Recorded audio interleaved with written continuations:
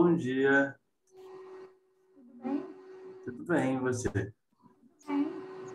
E aí, como foram os códigos? Ah, eu consegui fazer direitinho, eu só não entendi muito bem a parte do orçamento no final. O que, o que exatamente você não entendeu? Ah, se eu puder, pode compartilhar ela? Pode, pode sim. Tá.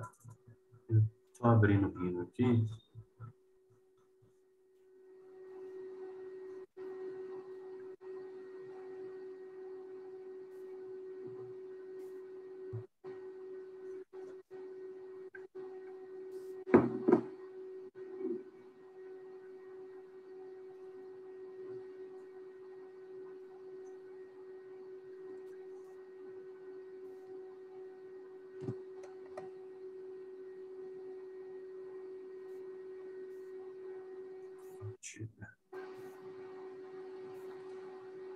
Ah lá, tá conseguindo ver aí? Sim. Aí eu separei os cômodos, né, de acordo com a minha ficha. Eu vi que era uma, uma família que tem, né, recebe meio salário mínimo, então tinha uma renda muito baixa. E eram só duas pessoas, então eu fiz poucos cômodos e uma metragem casada relativamente baixa. E, e aí eu vi que eles queriam um galinho em casa. Aí eu fiquei na dúvida, essa galinha ela precisa de um galinheiro e de um terreno. Aí esse terreno vazio, né, que seria descoberto, ele entraria nessa nesses ambientes? Entraria nos ambientes como área, área descoberta, né? Só que você tem uma Tá. qual é a sua demanda de área. Ah, tá. Entendi. Você conseguiu funcionar, fazer funcionar esse código? Consegui, consegui. Deixa eu...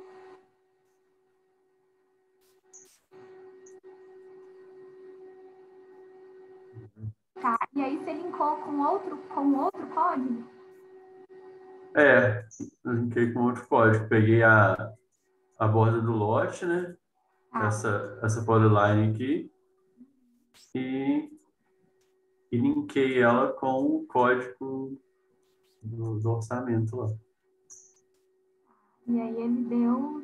ah, É, aí ele. Ah, esse aí do orçamento, aí é melhor talvez separar, né? Porque ele te daria o, a- o estudo de massa da edificação. E aí, se você incluir a área livre, né, ela entraria mais para definir a, área do terreno. Ah, tá. Então é, é melhor fazer separado. É, um Eu fazer. Contornar isso aqui? É, um para você entender qual que é o seu volume de edificação e, e outro incluindo áreas livres para você ver o quanto que você precisa de terreno. Não, não entendi ainda. Olha só, esse aí você achou a sua demanda da edificação, certo? Certo, certo. Você tem um perímetro que não é o seu lote, é o seu, a sua construção. Isso, isso. Se você incluir uma bolha que tiver área livre, por exemplo, galinheiro, né, que não exatamente é uma construção, Certo. tal, isso aqui, aí você conseguiria ter um perímetro do seu terreno, entendeu? Entendi, entendi, sim. E esse Eu aqui é o que pode- volume, esse aqui é o volume só do que vai ser construído, né? Isso, isso. Ah, tá. Entendi. Aí eu, eu te aconselho, aí você pode, não, não sei se copiar, ou então, não sei se teria como separar a- as áreas, as bolhas das áreas livres é, com, a, com o perímetro da edificação. Separar só o contorno dessas bolhas aqui, né? É, você gerar dois, dois perímetros diferentes. Tá. Eu vou tentar fazer isso, Tá, tá bom? Obrigado, viu? nada. Bom dia, quem, quem chegou aqui?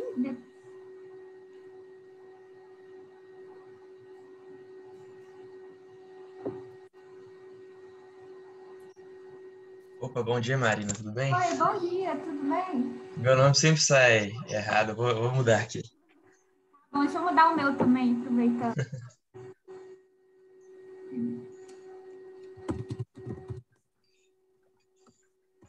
eu tive que baixar mais dois plugins é, que na hora que eu abri o código lá pediu.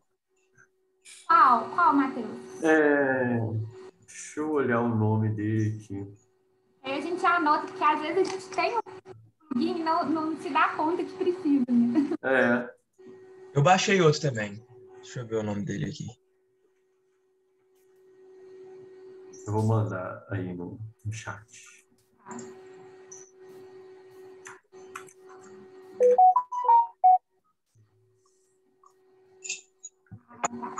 Bom dia, Carolina. Oi, Marina. Bom dia, tudo bom? Tudo bem. É, Aí, foram esses dois aí. tá, esses dois, pra, esse é para o código do diagrama de bolhas dos discos. É, os dois foram pro código dos discos. Assim que eu abri, é, o Rino avisou que tinha esses plugins lá e que eu não tinha. Então pode, pode ser que algumas pessoas tiveram problema por isso. Silk Worm. Tá.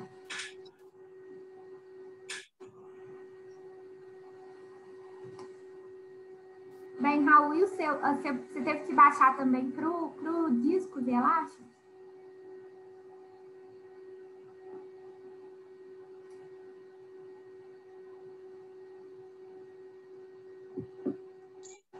Vou tentar achar o nome dele aqui e já te falo.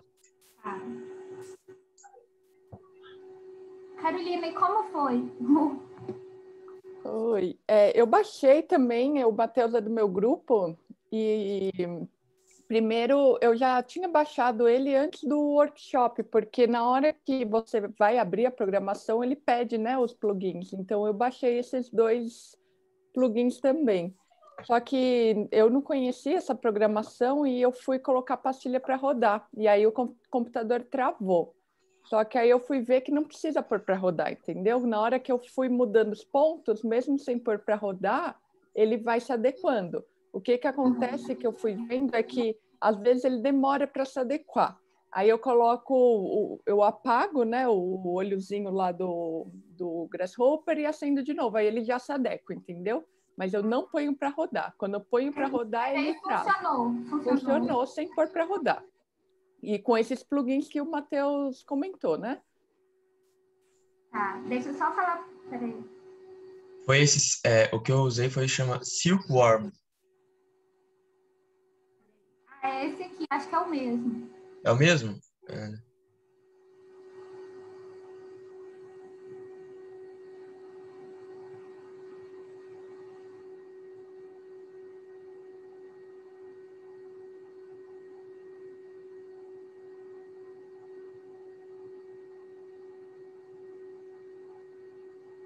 Agora, o que, que eu não consegui ainda, e eu vi que não é para a tarefa de hoje, foi o, a distribuição do layout dentro do ambiente, que já estava lá a terceira programação do dia, mas eu vi que não precisava pôr na tarefa do, de hoje.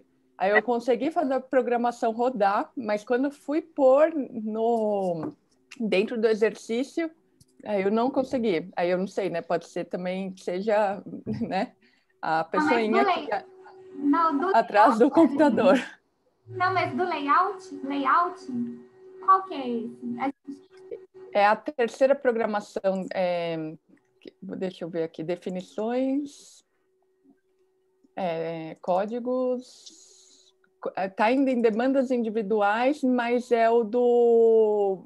é, o, o mag, mag, Magnetizing. Magnetizing, isso. Esse daí, para mim, não funcionou. Dentro do meu plugin. Fora dele, o que vocês compartilharam, ele funcionou. E eu precisei é, fazer download de mais algum plugin, sabe? Mas dentro do meu, eu não consegui fazer ele O- funcionar. O Magnetize, quando eu baixei ele do, do Drive, ele não veio plugin, ele veio só um arquivo de exemplo do, do GH e um arquivo de exemplo do Rhinoceros. Mas o plugin mesmo não veio, eu tive que baixar no.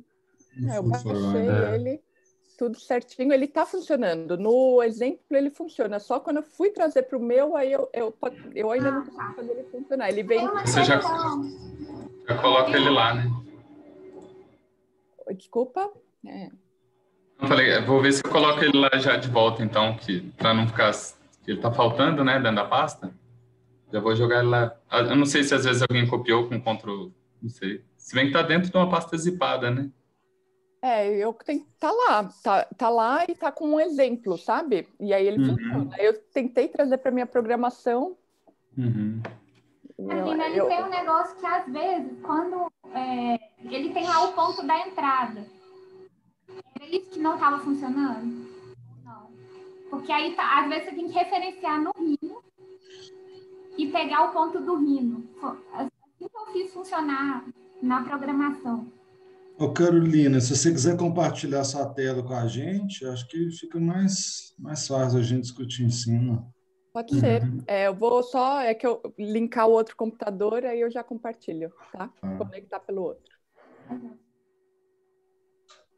Raul, você, você quer compartilhar? Vocês estavam com aquele problema do, dos discos? Ô, eu acabei de fazer uma coisa, eu acho que deu certo. Vou compartilhar aqui só para ver se, tá, se é isso mesmo. O senhor é que ele não estava pegando os pontos, né? É, acabei de descobrir que eu. Vocês estão vendo minha tela? Então, é porque os, aposto que era porque os pontos não estavam no rino, estavam só no Grasshopper. Não, não, eu coloquei no? Rio. Eu tá, isso aqui É? desativado, olha aqui embaixo, tá vendo? Ah, não tô vendo. Ah, Mas, Ponto, Entendi. próximo ali. Aí eu ativei agora e deu certo. É isso entendi. mesmo, não é?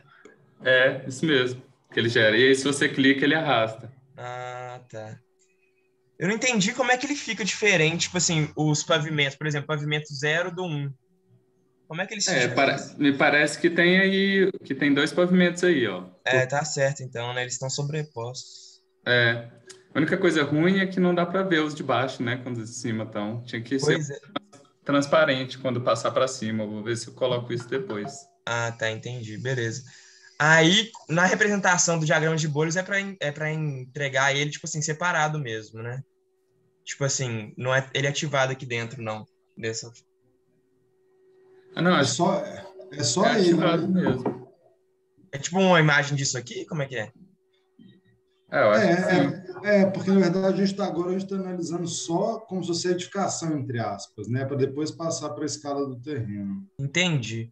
Mas esse 167 seria 167 metros quadrados? Tipo, É, do nossa, seu- mas, mas eu não. meu- tipo assim, eu fiz. é, eu coloquei os diâmetros calculando tipo a área, por exemplo. Fazendo aquela forma de, de pi, é, PR2, que é a área do, da circunferência, né? Terra quadrado. É, PR quadrado. Mas não era para dar isso tudo, não. Ah, então, mas olha só. Você tem aí, esses são os diâmetros da área construída.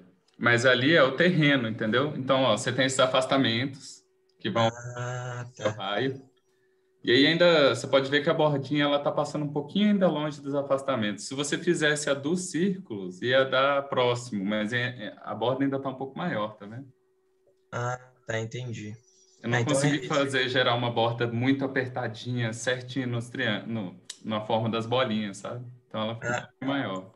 Ah, não, então é isso mesmo, né? É, a sua área construída deve estar é essa que você calculou. Ah, tá, beleza. Tranquilo, então. entendeu? Aí depois, agora tem que passar isso pro estudo de volumes? É, né? É, você pode é, fazer com o seu com essa borda do seu terreno, você pode dar bake nela e aí fazer seu estudo de volumes lá, Ah, não, beleza. o orçamento. Ou então você pega essa área que você já calculou desses círculos e multiplica pelo cube. Acho que às vezes é mais fácil. Ah, tá, tranquilo. Beleza. Você viu, você já viu a programação lá do estudo de volumes? Ela, Eu vi, eu vi no final da aula ontem, a Marina mostrou, né? Aham. É porque tem um pedacinho lá dela que é onde tem os valores do cube. Aí se você multiplicar, você já tem o valor da construção. Ah, tem uma calculadora lá, você pode. É, Não, tranquilo. É, eu vou tentar fazer aqui, então. Qualquer coisa eu falo, É. beleza? beleza. Porque o orçamento também não necessariamente precisa ter aquela imagem, pode ser só o valor mesmo, É, entendeu? Não, tranquilo, então. Beleza. Eu vou tentar fazer aqui, qualquer coisa eu falo, beleza? Tá bom então. Valeu. Verli, Verli estava com problema também. Carolina, você já conseguiu? É. Eu consegui, eu só perdi parte da programação de ontem, mas eu já vou aqui compartilhar, porque agora já está fácil de mostrar. Deixa eu conectar. Já estou aqui com outro. Beleza. Eu não sei o que está acontecendo, Marina, que eu estou usando o Magnetize, só que eu estou usando já o arquivo exemplo do próprio plugin. Aham. Só que mesmo assim ele está dando um erro quando é, transfere para o terreno. Por algum motivo, as áreas, eu posso colocar um metro de área quadrada de está sendo demais para a matriz do, do código. O terreno tem centímetro?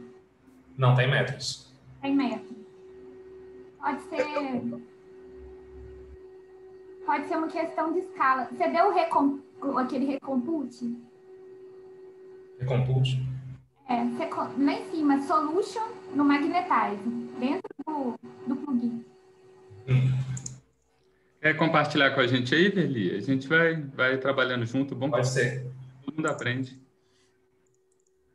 É, vou demorar só um tiquinho que eu esqueci que nesse outro computador não tem o, o Zoom. Vou ter que baixar ele aqui rapidinho. Ah, tá. É, eu posso ir compartilhando enquanto isso, Beleza. Que agora eu já consegui aqui.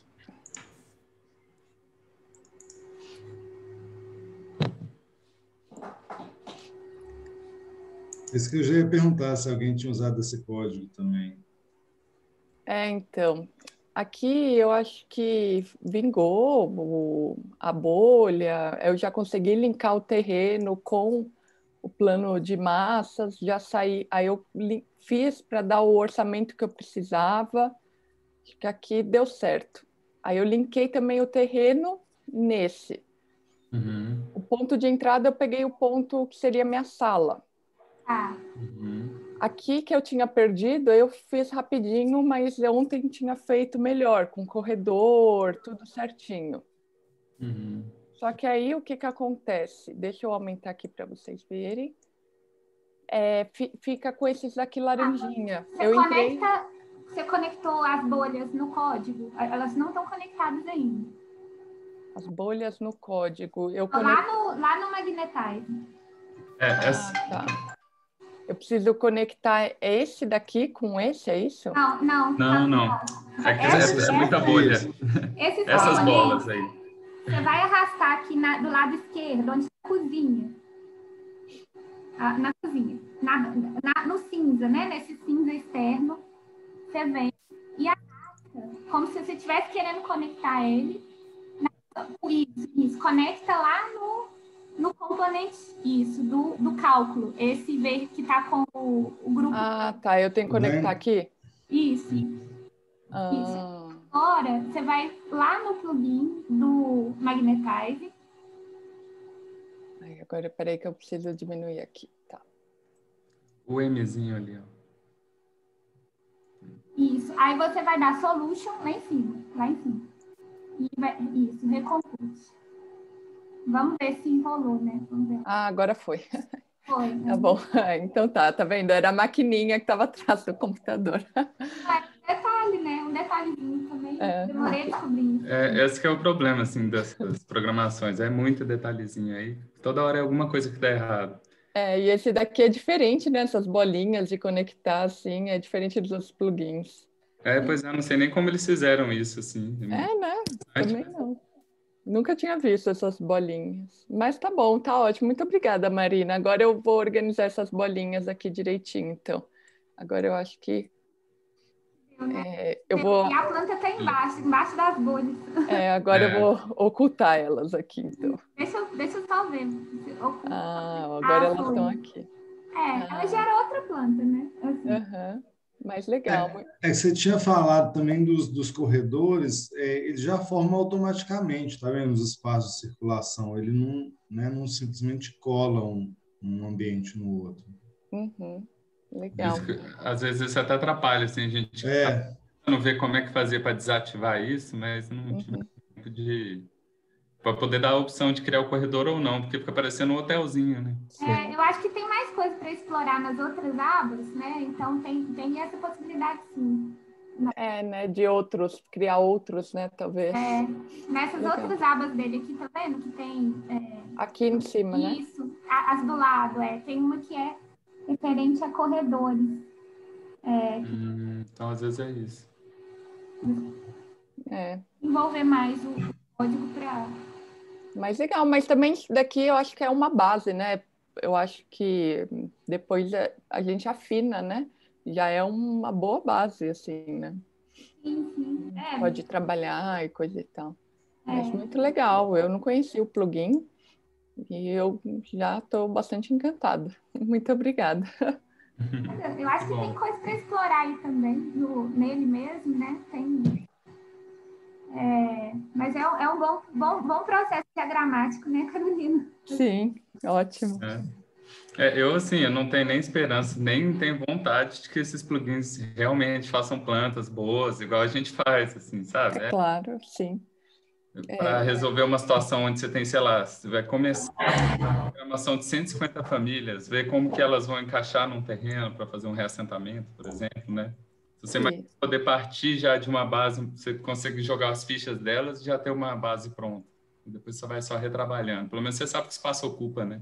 Exatamente. É, é um ponto de partida, né? Não é um trabalho um final, eu acho que é por aí, né? Uhum. Legal. Bem, vem. Eu vou parar de compartilhar, então. Tá. Se tiver mais alguma dúvida, gente, pode voltar também. Tá ótimo. Eu faço para compartilhar aqui? Tem uma, ele fica bem no meio aí, Verli. É, talvez você tenha que. Ah, não. Ai, Ah, tá, acho que tá autorizado. É, mas é porque se a Carolina conseguir. eu tô, é, eu tô, pa- eu tô parando aqui, aqui. Tentando descobrir onde que é aí também, né? É, onde para, né? Eu acho que é em cima, assim, ó, com uma barrinha bem no topo da tela. Ele deu, tipo, só pra é, dar uns. Aqui, stop. Pronto, parei. Aí.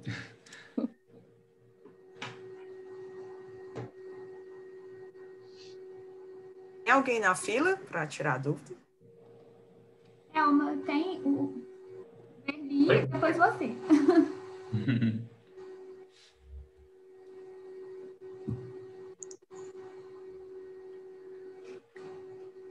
Aí é nesse daqui, Marina? Isso. Vai lá em Solution, lá em cima. Ah, esse negócio tá na minha frente. É, tem File, Edit, View, Display, Solution, lá em cima. Ah, Lá Na na barra barra de em cima mesmo. Eu acho que ele não ligou as bolinhas ainda. Eu acho Ah, é. que ligou, que elas estão. Mas olha só, sua- sua- seus ambientes estão muito pequenininhos, estão com um metro quadrado, tá vendo? É, porque eu coloquei, tava com as metragens corretas já antes, só que tava dando o mesmo erro. Tá. Vamos ver só se a gente consegue visualizar, né, com essa metragem. É, bem, dá- vai lá no Solution, lá em cima, e vamos ver se está rodando. Posso sumir as metragens também, deixa. Solutions, desculpa, ainda não entendi onde é que é, porque tá. Lá na É, nessa barra barra, principal, lá em cima, na barra Grasshopper, a, ba- a linha de baixo. Ah, tá, porque tá com Isso, isso. compartilhamento na frente. Recompute, é. Clica aí, vamos ver se aparece. Nada. Nada. Aqui, vamos ver se é um problema de escala. Não, acho que às vezes se ele, vê se ele tá conectadinho certinho também, Marina, aquelas etapas. É, ele fica colorido. Tenta. Peraí que tá. Ah, ele tá conectado. Dá... Ah, preview. Liga... Tá tudo oculto. Ah, verdade. E dá preview. É, Aí não, você- não, esse não. O do magnetizing mesmo.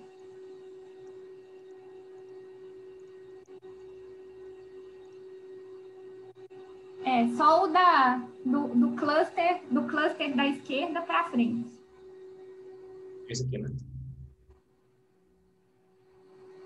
Isso, isso. Essa parte toda da esquerda. Coloca, seleciona e dá preview.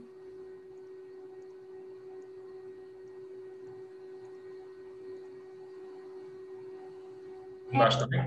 Lá no Grasshopper.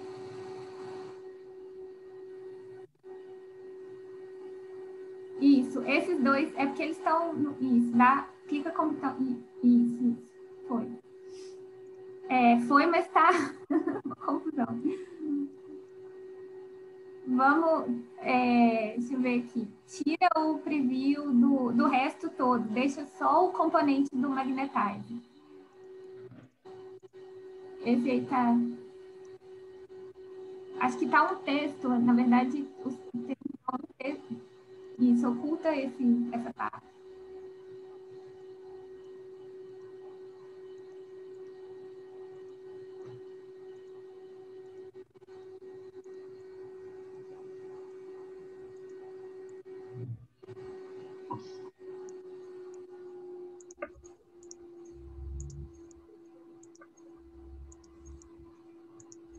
É aí que a coisa acontece. É, é nesse pacotinho aí, ó, que tá gerando esse. É, eu acho que é alguma escala de texto que tá muito gigante.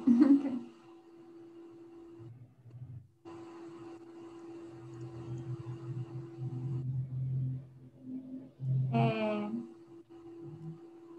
Vamos ver. Vai um pouquinho mais para a direita, ó. É, aonde vão essas, essas linhas aí.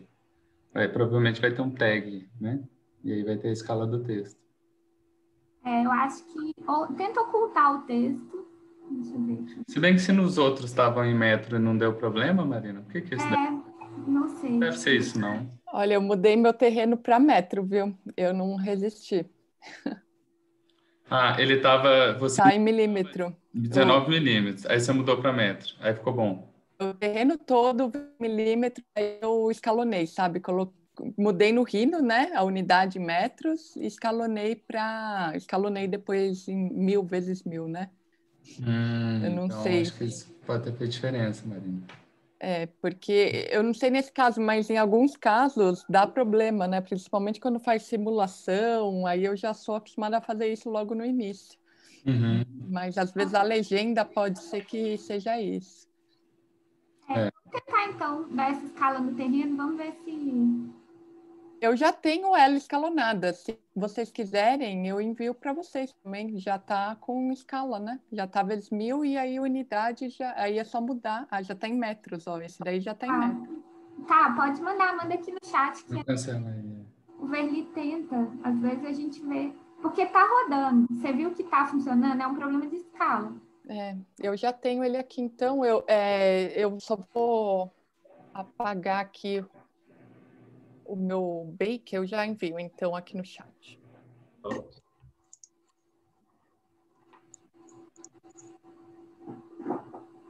Mas, Verli, como você tá gerando o código? Você tá colocando o magnetizing primeiro, depois, qual que é a sua sequência? Eu só abri o script do Magnetize, aí associei a curva do terreno e inseri um ponto, só isso. Será que é porque ele pegou o exemplo do magnetizing? Porque tem um arquivo que você que postou, né, Marina? Do magnetizing? é, tem um código. Você que fez. É um código que você que fez. É o dela, por algum motivo, dá arquivo corrompido. Que é isso, é um workshop coletiva, tal, tal, tal, magnetizing. Não tá rolando? Dá esse problema aqui. Ué, peraí. É, para mim também tá dando esse problema. Aparece tudo, mas na hora de gerar, o resultado não funciona. Tá, vamos Tá falando. pegar esse? Vamos, vamos lá. Tenta, tenta. Você tentou configurar ele? ponto de entrar, isso. E agora vão ligar. É, tá o mesmo, o mesmo problema de escala. Mas, o, mas se ligar os ambientes. É, tá dando um problema de escala de texto Eu também. acho que vai ter que escalar o terreno. Esse Marina, eu acho que é porque quando você fez esse, essa programação, o terreno estava 10 vezes maior, porque ele estava numa escala meio entre centímetro e decímetro. Pode ser, pode ser, pode Né? ser. Isso, que é o, Então, provavelmente tem que diminuir vezes 10. isso. Então, é o Eu problema. vou, eu vou baixar essa programação aqui e tentar arrumar essa escala dela rapidinho. Pode ser? Pode ser. Ele Pra tá tá vendo? Ele não tá dando erro para gerar, mas é a escala do. É a escala do texto, provavelmente, né? Então, vamos lá.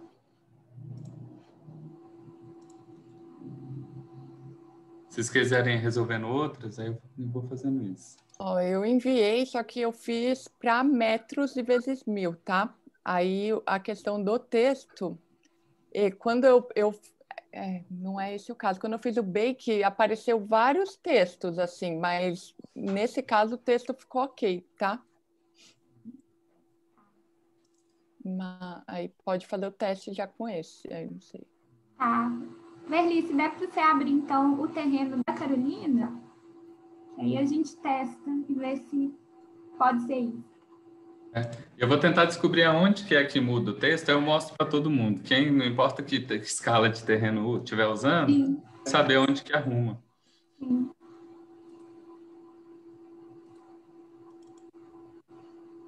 Bem, então, enquanto vocês olham, Kelma, você quer. Você quer compartilhar sua tela? Pode ser. Opa, compartilha. É, quando eu comecei a fazer, eu não, eu acho que ainda não estava o, o, o arquivo do terreno, e aí eu fiz só um retângulo aqui só para testar. Ah. Ainda vou fazer dentro da, do terreno. Ah, é, mas nem, nem precisava mesmo, viu? Tava pensando nessa primeira etapa fazer sem terreno, por isso que a gente demorou para pôr até. É, aí eu comecei a fazer, depois eu não olhei mais, né, se já tinha o, o terreno. Não, Aí, é assim, isso eu- mesmo, eu problema. Como? Não, tô falando, é isso mesmo, tem problema não. É, não, mas de qualquer maneira todo mundo parte de uma área igual, né? Assim, é, Uhum. que é que é o terreno todo de, pelas glebas. É, é, bom. Não, Mas mas isso vai ser mais pra assim- frente, quando eles juntarem as casas. Cada, agora criando a casa, você pode criar ela em qualquer quadrado aí, depois, na hora que vocês juntarem lá no terreno, vocês... É, bom. Pronto, eu consegui fazer as, as bolhas, né? Coloquei aqui os ambientes, né? os diâmetros em metro e os afastamentos. Mas quando eu clico aqui no, no para rodar, aí o computador trava. Ele não faz aquela aproximação. E eu também fiquei na dúvida dessas bolinhas ver- vermelhas aqui flutuando. Não entendi o que era. Essas bolinhas são geradas aí pelo... Deixa, opa, deixa eu só tampar aqui, que o hino apareceu bem na frente da minha câmera. Estava abrindo ele. Aí depois eu, eu, eu cliquei aqui no, no- nesse cluster, né? Esse organizador de informações, ele tem um, Uhum. tem um errinho aqui. Tem uma árvore aí, né? Não, mas isso é, é- tem algumas que ficam assim mesmo, viu, Calma? Porque Aí eu. Ah, eles, esses clusters, eles estão, tem hora que vão trabalhar com uma casa só, tem hora que vão trabalhar com mais de uma. Aí quando você manda informação de uma casa só, alguns ficam tipo assim, opa, tá faltando uma coisa, tal, mas, mas a coisa roda. E aí quando você manda duas, ficam todos, duas ou mais, aí ficam todos, todos cinzinha. Eu acho que deve ser ah. um lugar. Pois é, aí quando eu, eu clico aqui, ele trava. Quando você liga, trava o computador? Trava o. Eu não sei se é porque ele né, vai demorar para rodar. Não sei se é isso, mas ele trava. Ele não, ele não. Dá um, dá esse, aperta o botãozinho de baixo, o reset. Agora tá.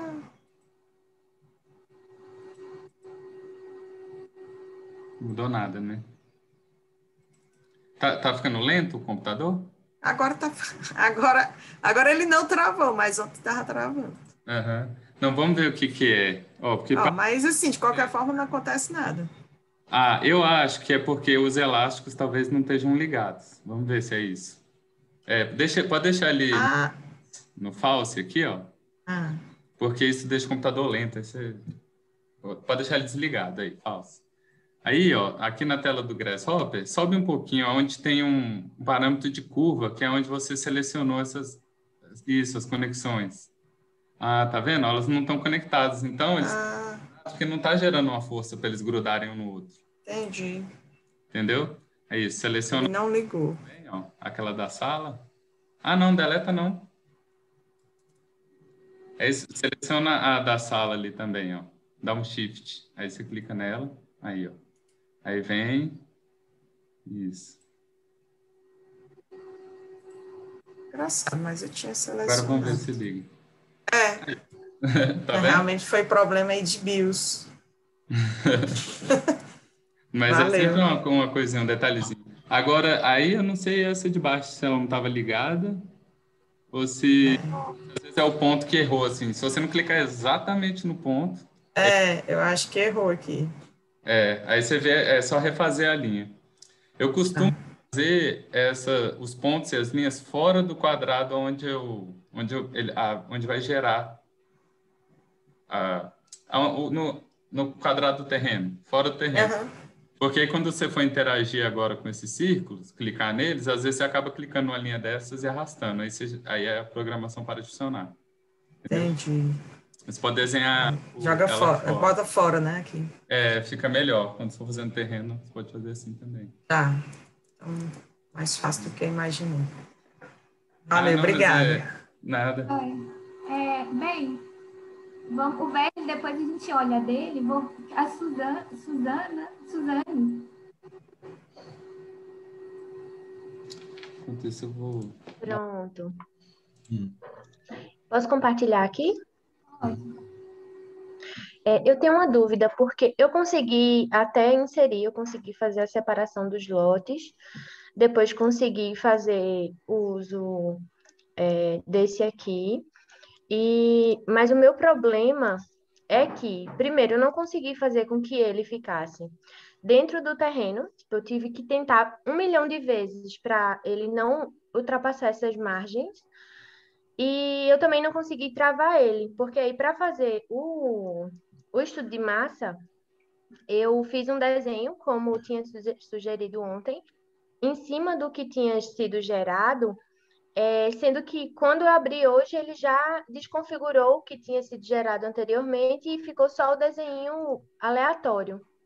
Aí eu não, não soube travar no desenho que ele tinha definido ontem e, e para chegar no resultado. E também tive essa dificuldade, que ele sempre ficava fora. Aham. Ô, pois é, ô, Suzane, ele fica, é, dependendo do ponto de entrada, ele faz umas interações um pouco aleatórias. Você viu que ele tem 20 interações para a mesma possibilidade?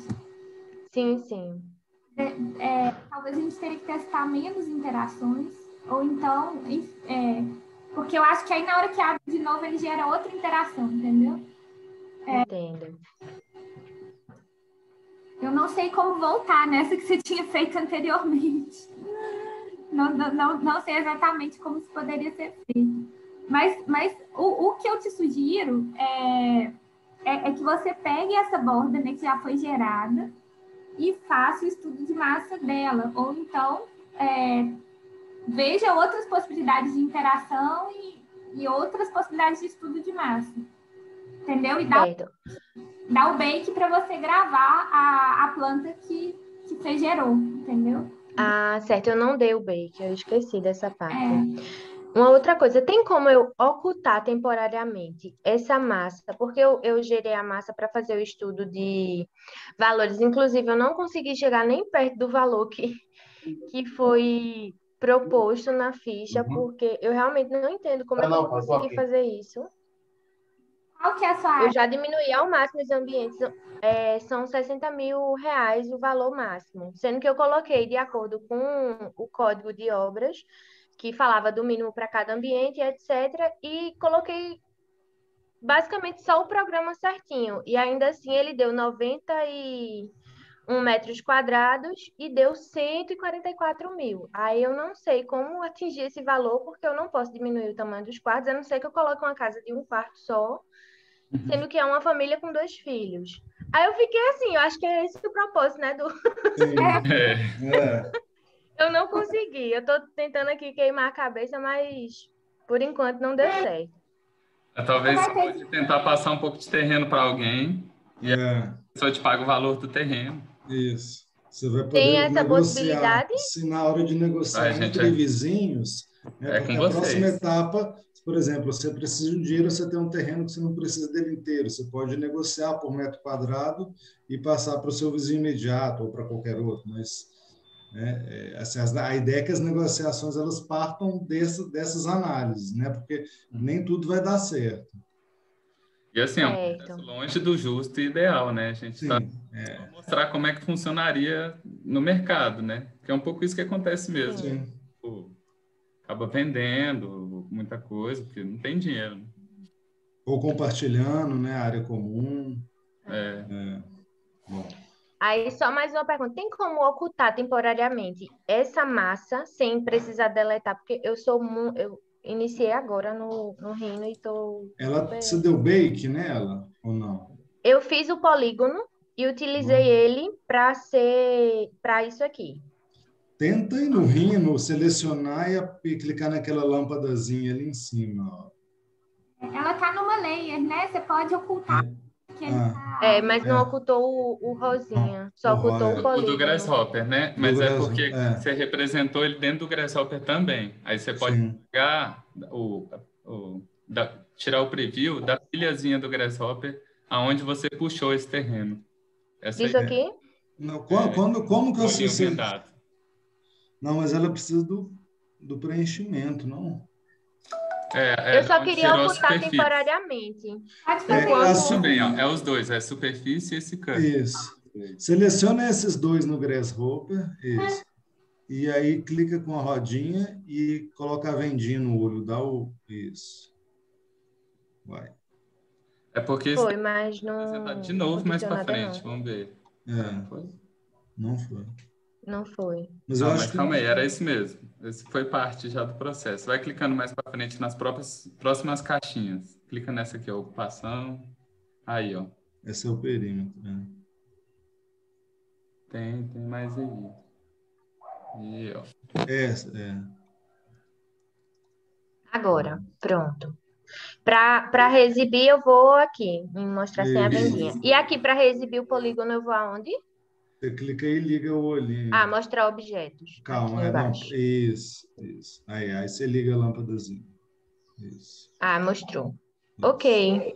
Beleza? Então, vou, vou fazer isso aí. Sim, uma outra dificuldade que eu tive é que quando eu coloco a sala, ele cria um cômodo no centro e a sala se ramifica, porque eu coloquei o acesso da sala, dos quartos pela sala. Eu até criei poucas conexões, porque eu tinha criado muitas e estava ficando muito enrolado a planta.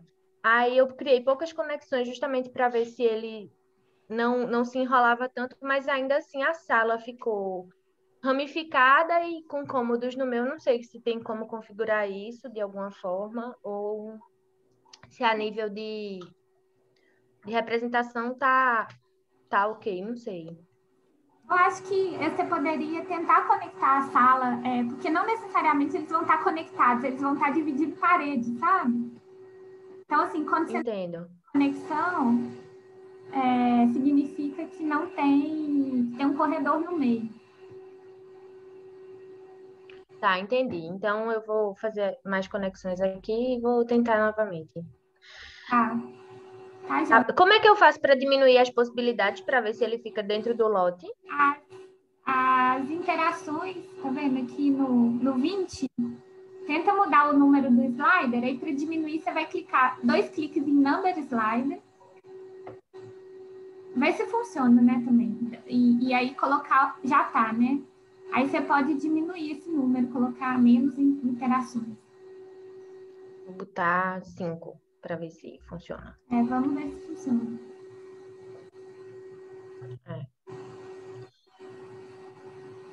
É, ele, É, ele- o que você está tentando é colocar o terreno, é, é edificar a planta dentro do terreno. Isso, queria definir que não pode Se você ultrapassar. for no rino e, e puxar os pontos manualmente, aí o código vai acompanhar se eles estiverem vinculados.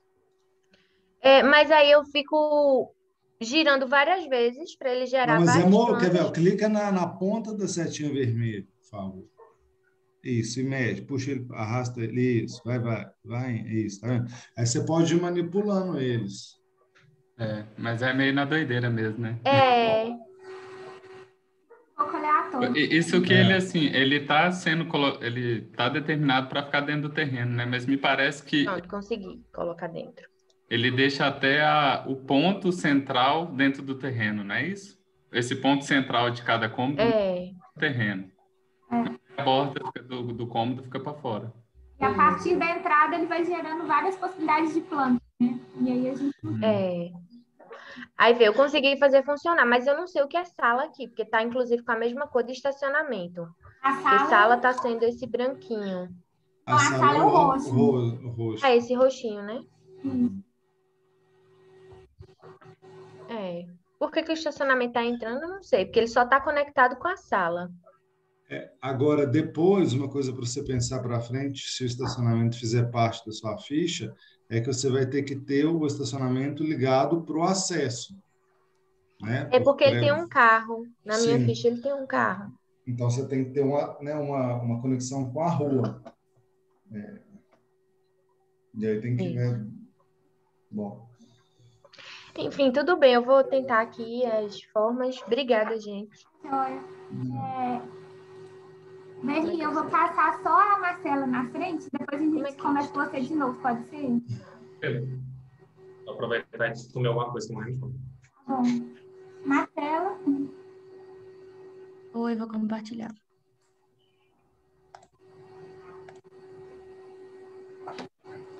Vocês estão vendo minha tela?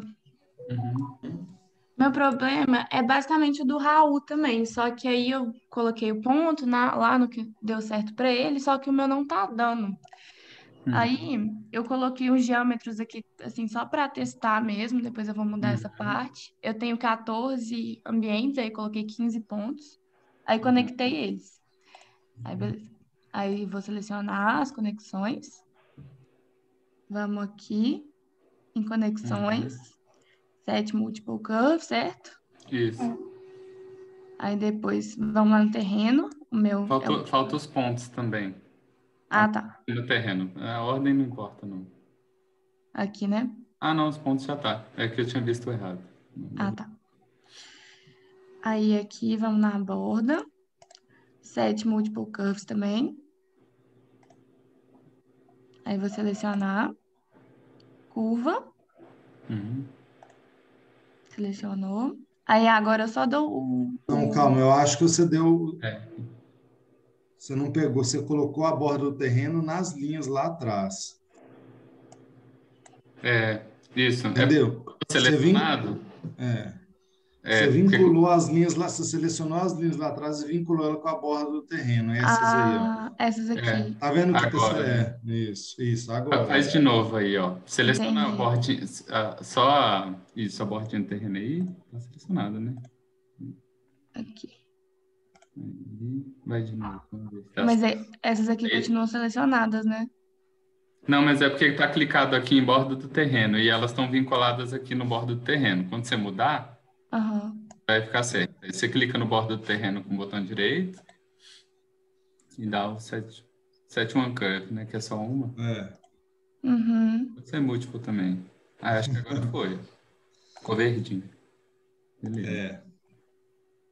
Isso, Aí não vai. Aí some. Mas aí você desvinculou as linhas lá de cima. Você tem que ligar ela com, com a conexões, com a caixinha de É, conexões. só- vamos verificar se tá. Vai no, na pilhinha das conexões, vê se elas estão selecionando aquelas linhas. Então, né? Tá. Então, Tem quantos valores aí? Dentro dessas conexões? Que ele fala, ó, tem 13?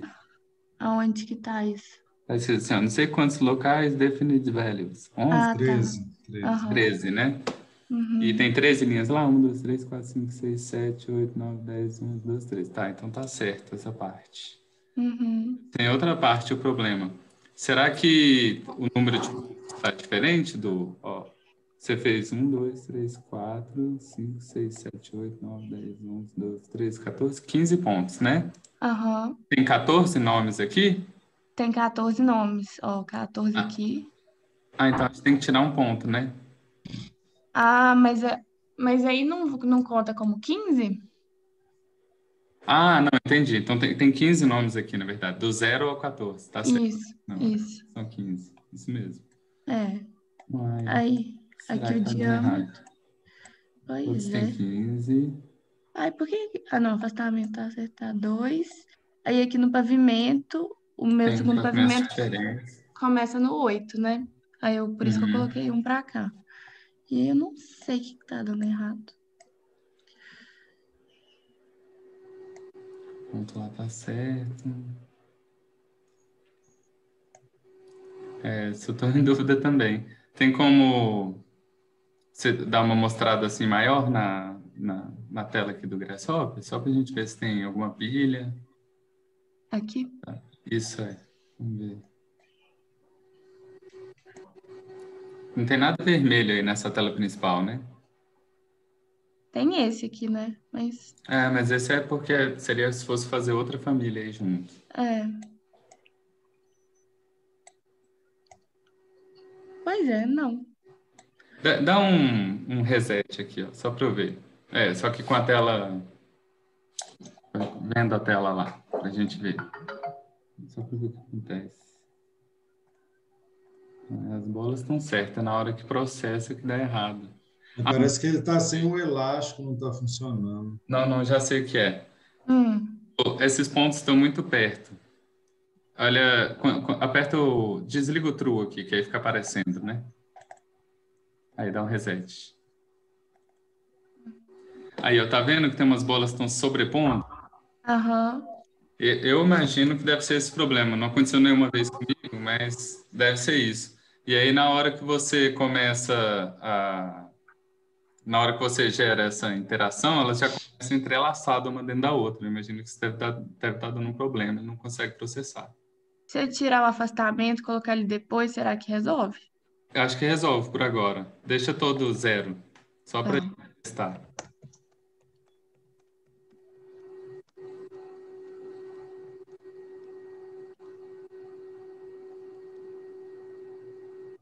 Hum, Vamos ver se funciona.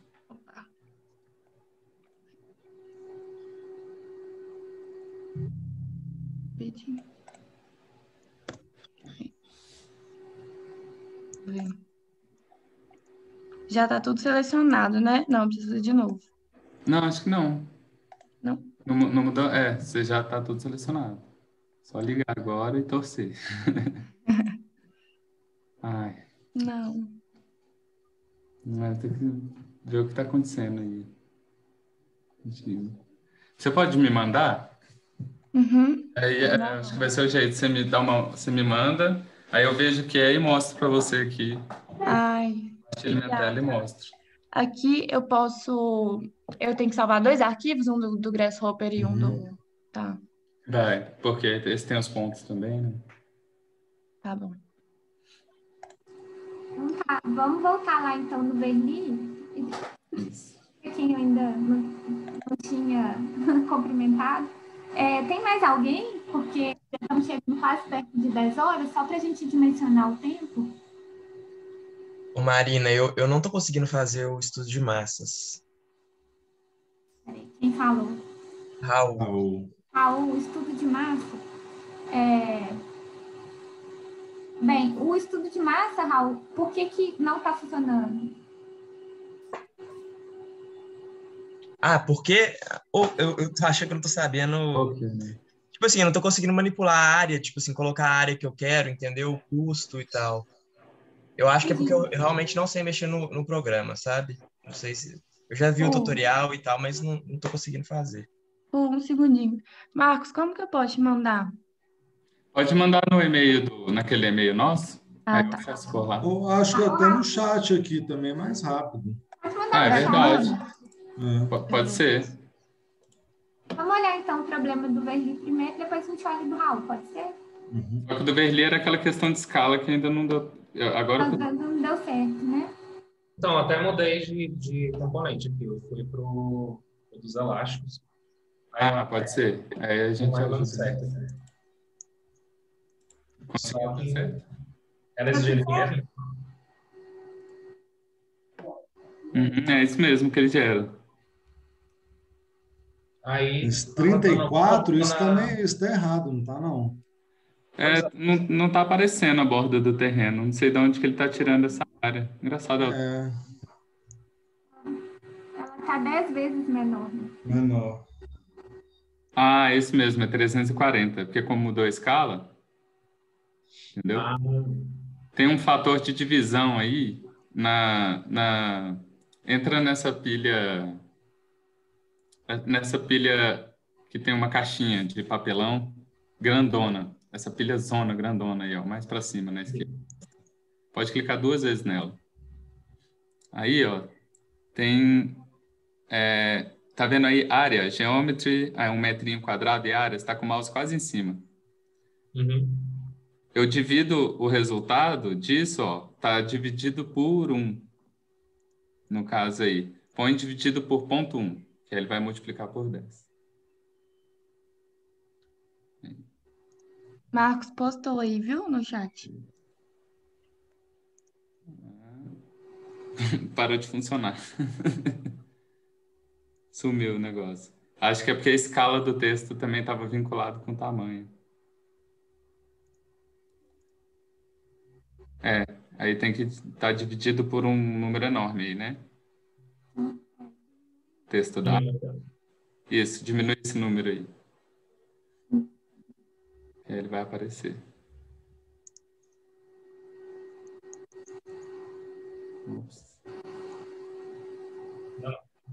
Não? Será que tem que dividir mais? O que está escrito lá dentro daquele expression?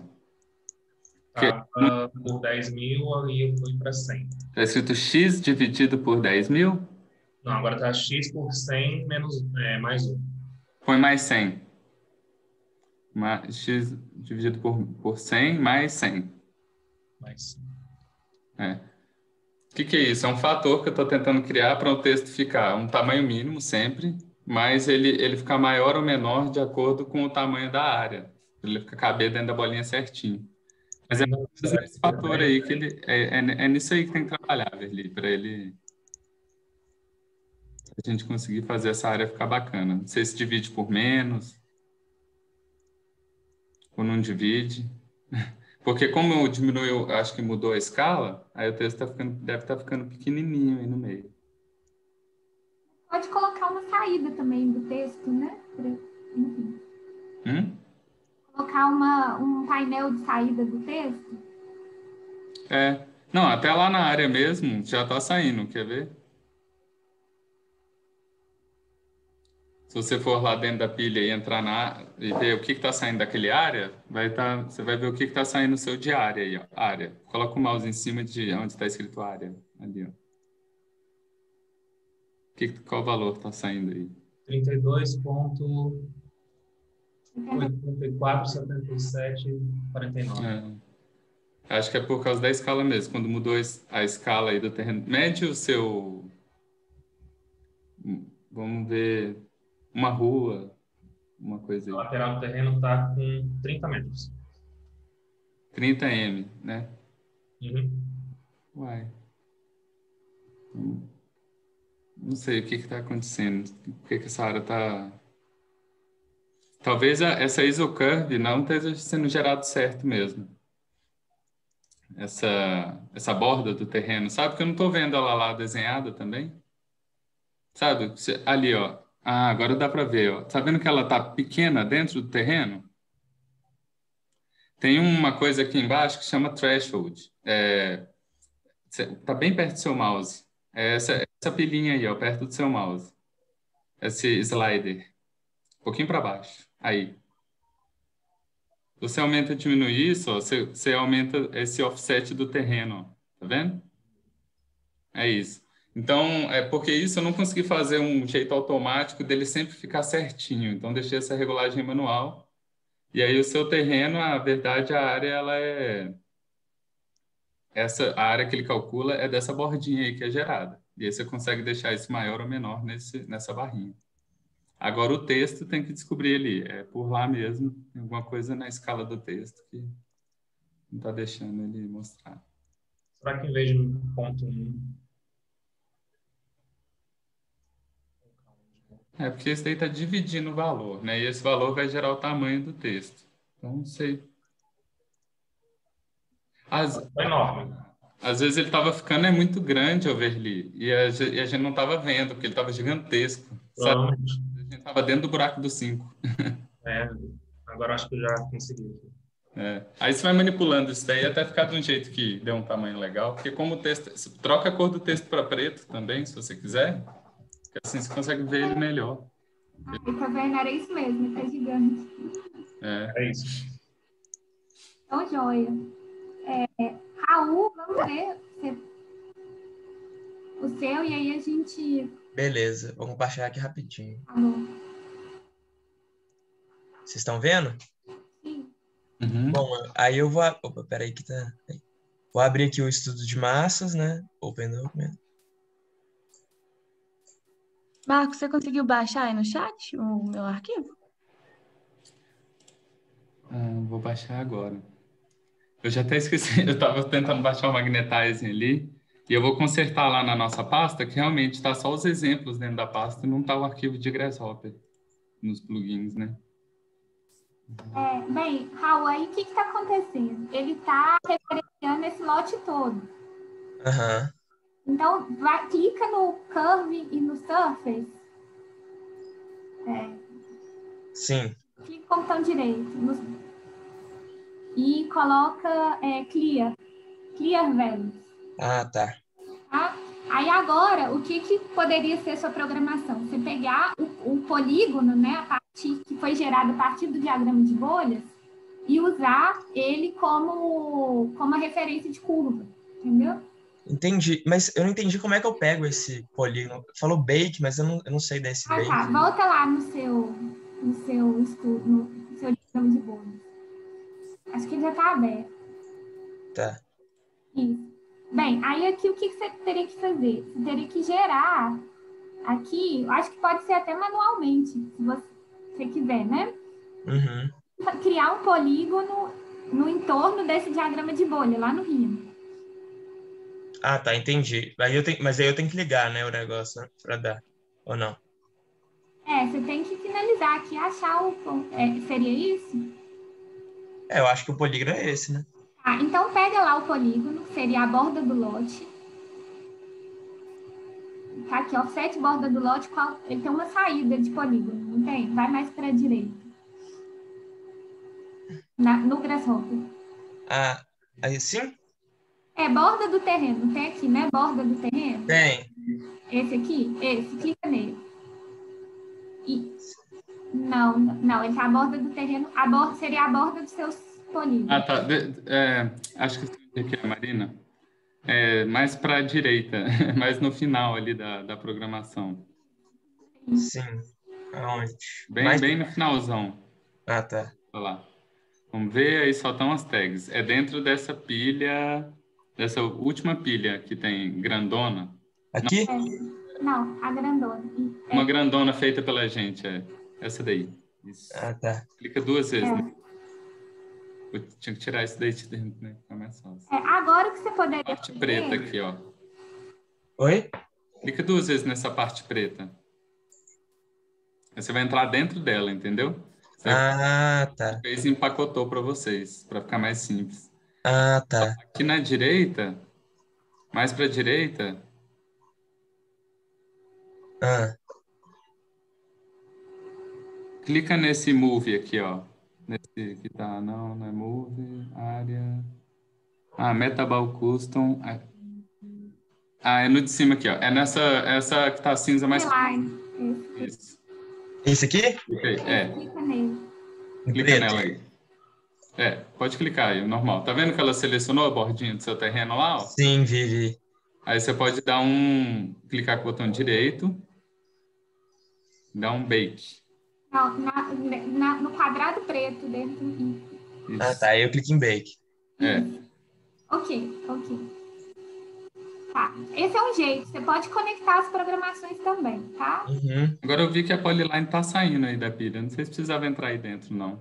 Agora, É, eu acho que ela, ela tá saindo lá fora. para você sair, você clica nessa caixinha aberta no canto esquerdo, em cima. Ah, tá. Aqui. Isso. Save and close. Isso. Isso. Aí, para eu levar o polígono lá para o estudo de massas, é. Aí abre o arquivo do estudo de massa. Gente, quem que era que tinha mandado os arquivos para mim? A Marcela. Marcelo. Acredita que eu abri aqui e funcionou perfeitamente. Agora, Do Raul, jeitinho que você me mandou. Gente, mas Se esse é abrir só e fechar de novo, ele vai funcionar do jeito que tá. se eu abrir e fechar de novo, né? Vou tentar. Porque eu simplesmente abri do jeitinho que tava e funcionou perfeito aqui. Então, os, os disquinhos aqui dentro do terreno. Que loucura. E você só deu um play, tipo, e o trem foi? Você só ligou e o trem Já foi? tava, já tava, acho que com o play ligado. Já, na hora que eu abri o negócio, ele já gerou os, os, os disquinhos aqui. Ai, Para gerar. então calma. Vou testar aqui. Isso, testa aí, você fala. Ah, agora você clica como botão direito, em cima desse curve, isso, set one curve. Isso. Aí você vai pegar a curva aí. Isso. Pronto. Aí, aí, aí é como se, enfim, você tivesse um terreno, né? E aí você está manipulando a taxa de ocupação e o... Coloca aqui como perspectiva, você, você tem uma noção? Aqui Qual na... foi a última coisa que o Raul fez? Clica duas vezes no superior ali, Raul. Aqui? Não, no, não, superior, na... no escritinho superior. Mais para baixo, mais para baixo. Mais pouquinho. cantinho da superior. superior, perspectiva. É. é que eu estava fazendo de Não, não, clica duas vezes no superior. Aí, aí agora clica duas vezes lá no perspectiva, da direita. Isso. Ué? Não é porque zoom se... extend. É. Depois, é, tem um zoom extend ali em cima, ó, aquela isso, da direita. Nossa senhora, meu Deus. Você tá gerando um predinho. Que isso? Não, porque ele, isso daí, dependendo da taxa de ocupação, ele gera o, o máximo é. construir. Ah, sim. Isso que assim, isso daí é bom para calcular assim, ah, se eu fizesse terreno, qual seria mais ou menos o valor de mercado dele, assim, sabe? Ah, tá, entendi. É, o meu seria tipo isso aqui, olha. É, aí olha lá, tem uma saída do valor da, da, dessa massa aí de edificação, lá na esquerda direita. Uhum. Bem, aí você está com 146 de área construída. É, na realidade, o meu teria 63 de área construída. Uhum. Sim. Então, se você quiser só fazer esse cálculo, usar a calculadora, você pode usar 163, você pode desconectar aí, ó, do resto. Isso Como é que faz? Só desconectar aqui? Você aperta Ctrl. Ah. E desconecta isso aí, ó. É, isso. Faz essa linha só que com o Ctrl apertado. Ah, tá. Faz o caminho contrário dela. É. De bolinha a bolinha. Ah, tá. Aí você clica duas vezes e escreve seu valor aí. É isso que eu estava tentando fazer, na realidade. Ponto, com ponto. Acho que não sei. Ah, Depois é, acho que se, se usar vírgula, às ah, vezes tá. confunde com, com aquela com casa. Casa de mil, sabe? Com certeza. Se ele é, deu certinho agora. Vocês estão usando esse, esse padrão aqui, né? Isso, é o mais baixo. Eu, eu acho que tem o PIS, que é de, de, de. Dentro disso tem o PIS, que é um pouco mais baixo ainda que isso. Né? É um pouquinho mais baixo. Um é, eu tava usando ele, aí tava dando certinho, 75. É, é mil, acho que é 1505, não é isso? Não, era, era bem mais baixo, inclusive, só até com olhar Bem mais baixo? Tá. Ruby PIS é. Ele tava mil. Peraí. Tá, tá. 1179.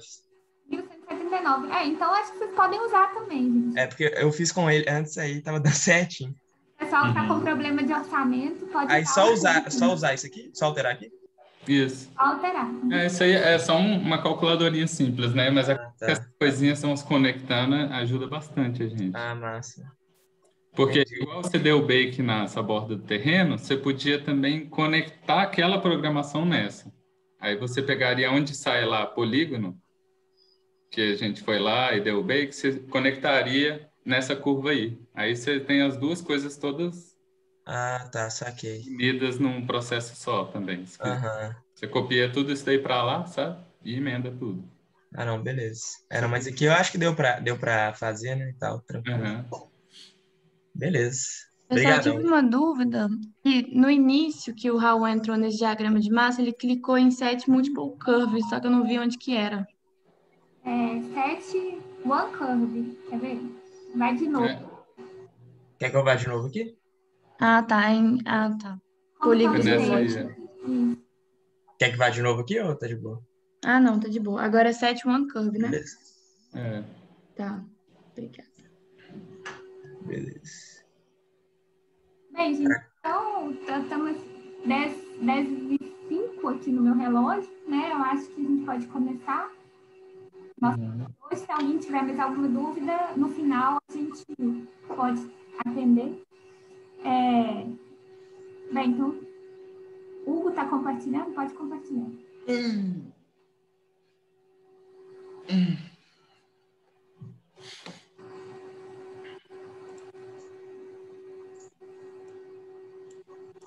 Gente, eu vou no banheiro rapidinho antes de começar, que vai ser uma falação.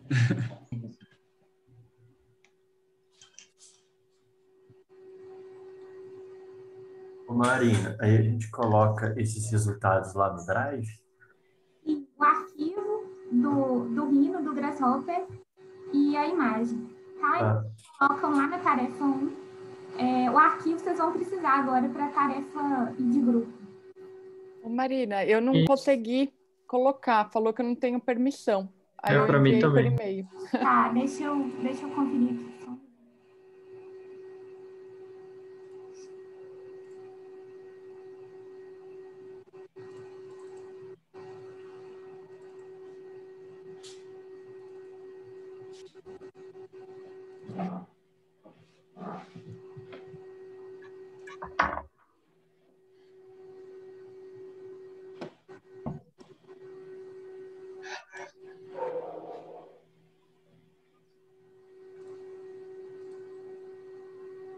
Pronto, gente, coloquei como editor.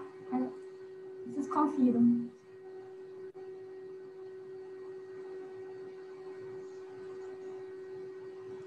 O que, Marina? Aconteceu? Não, a pasta tava como. Tava, não tava colocando. postar. Ah, entendi. Marcos, abri de novo e o meu não deu, continuou tipo da, da mesma forma. Mas Ai, eu vou gente, que descobrir. coisa. É. Ela tem uns plugins que o pessoal baixou aqui, Ah, será que é algum que são esses O aqui. seu rino é qual?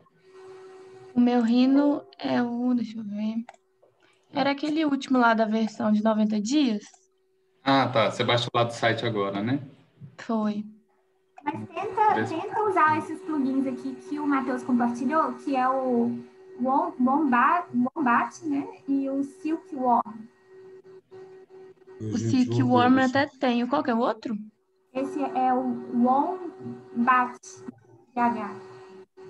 Ah, Mate- o Matheus viu que, tava, que tinha usado esses plugins? foi. É, eu, às vezes, sem perceber, nem vi que tinha usado uma pilha desses plugins que eu tenho instalados. Aham. Foi isso. Não, eu.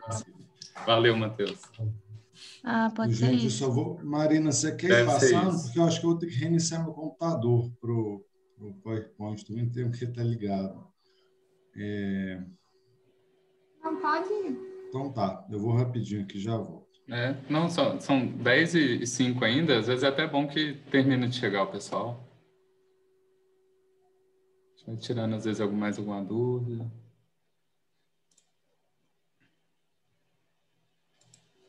Gente, eu também estava com dúvida no gerador de forma. Como que faz para tirar aquele tanto de pavimento que ele gera de uma vez? Alverly. O est- de estudo de massa? Ah, o estudo de massa. Como que faz para tirar os pavimentos? É, Acho que já está você- gerando uma torre de 10, não sei quantos mil pavimentos. É, é porque É. você deve estar com coeficiente alto, não? É o coeficiente de aproveitamento, sabe? Ele, ele, conforme o coeficiente, ele vai usando ele ao máximo. Aí Ele vai gerando pavimentos. Então, se você diminuir o coeficiente, ele... Ah, sim, sim. Aí um fica. É, mas em ponto 1 um ele ainda fica com 4. 5, quer dizer. Você pode clicar na, no slider e diminuir a... Colocar mais uma casa decimal nele. Aí você consegue deixar menor ainda. slide, mas ok.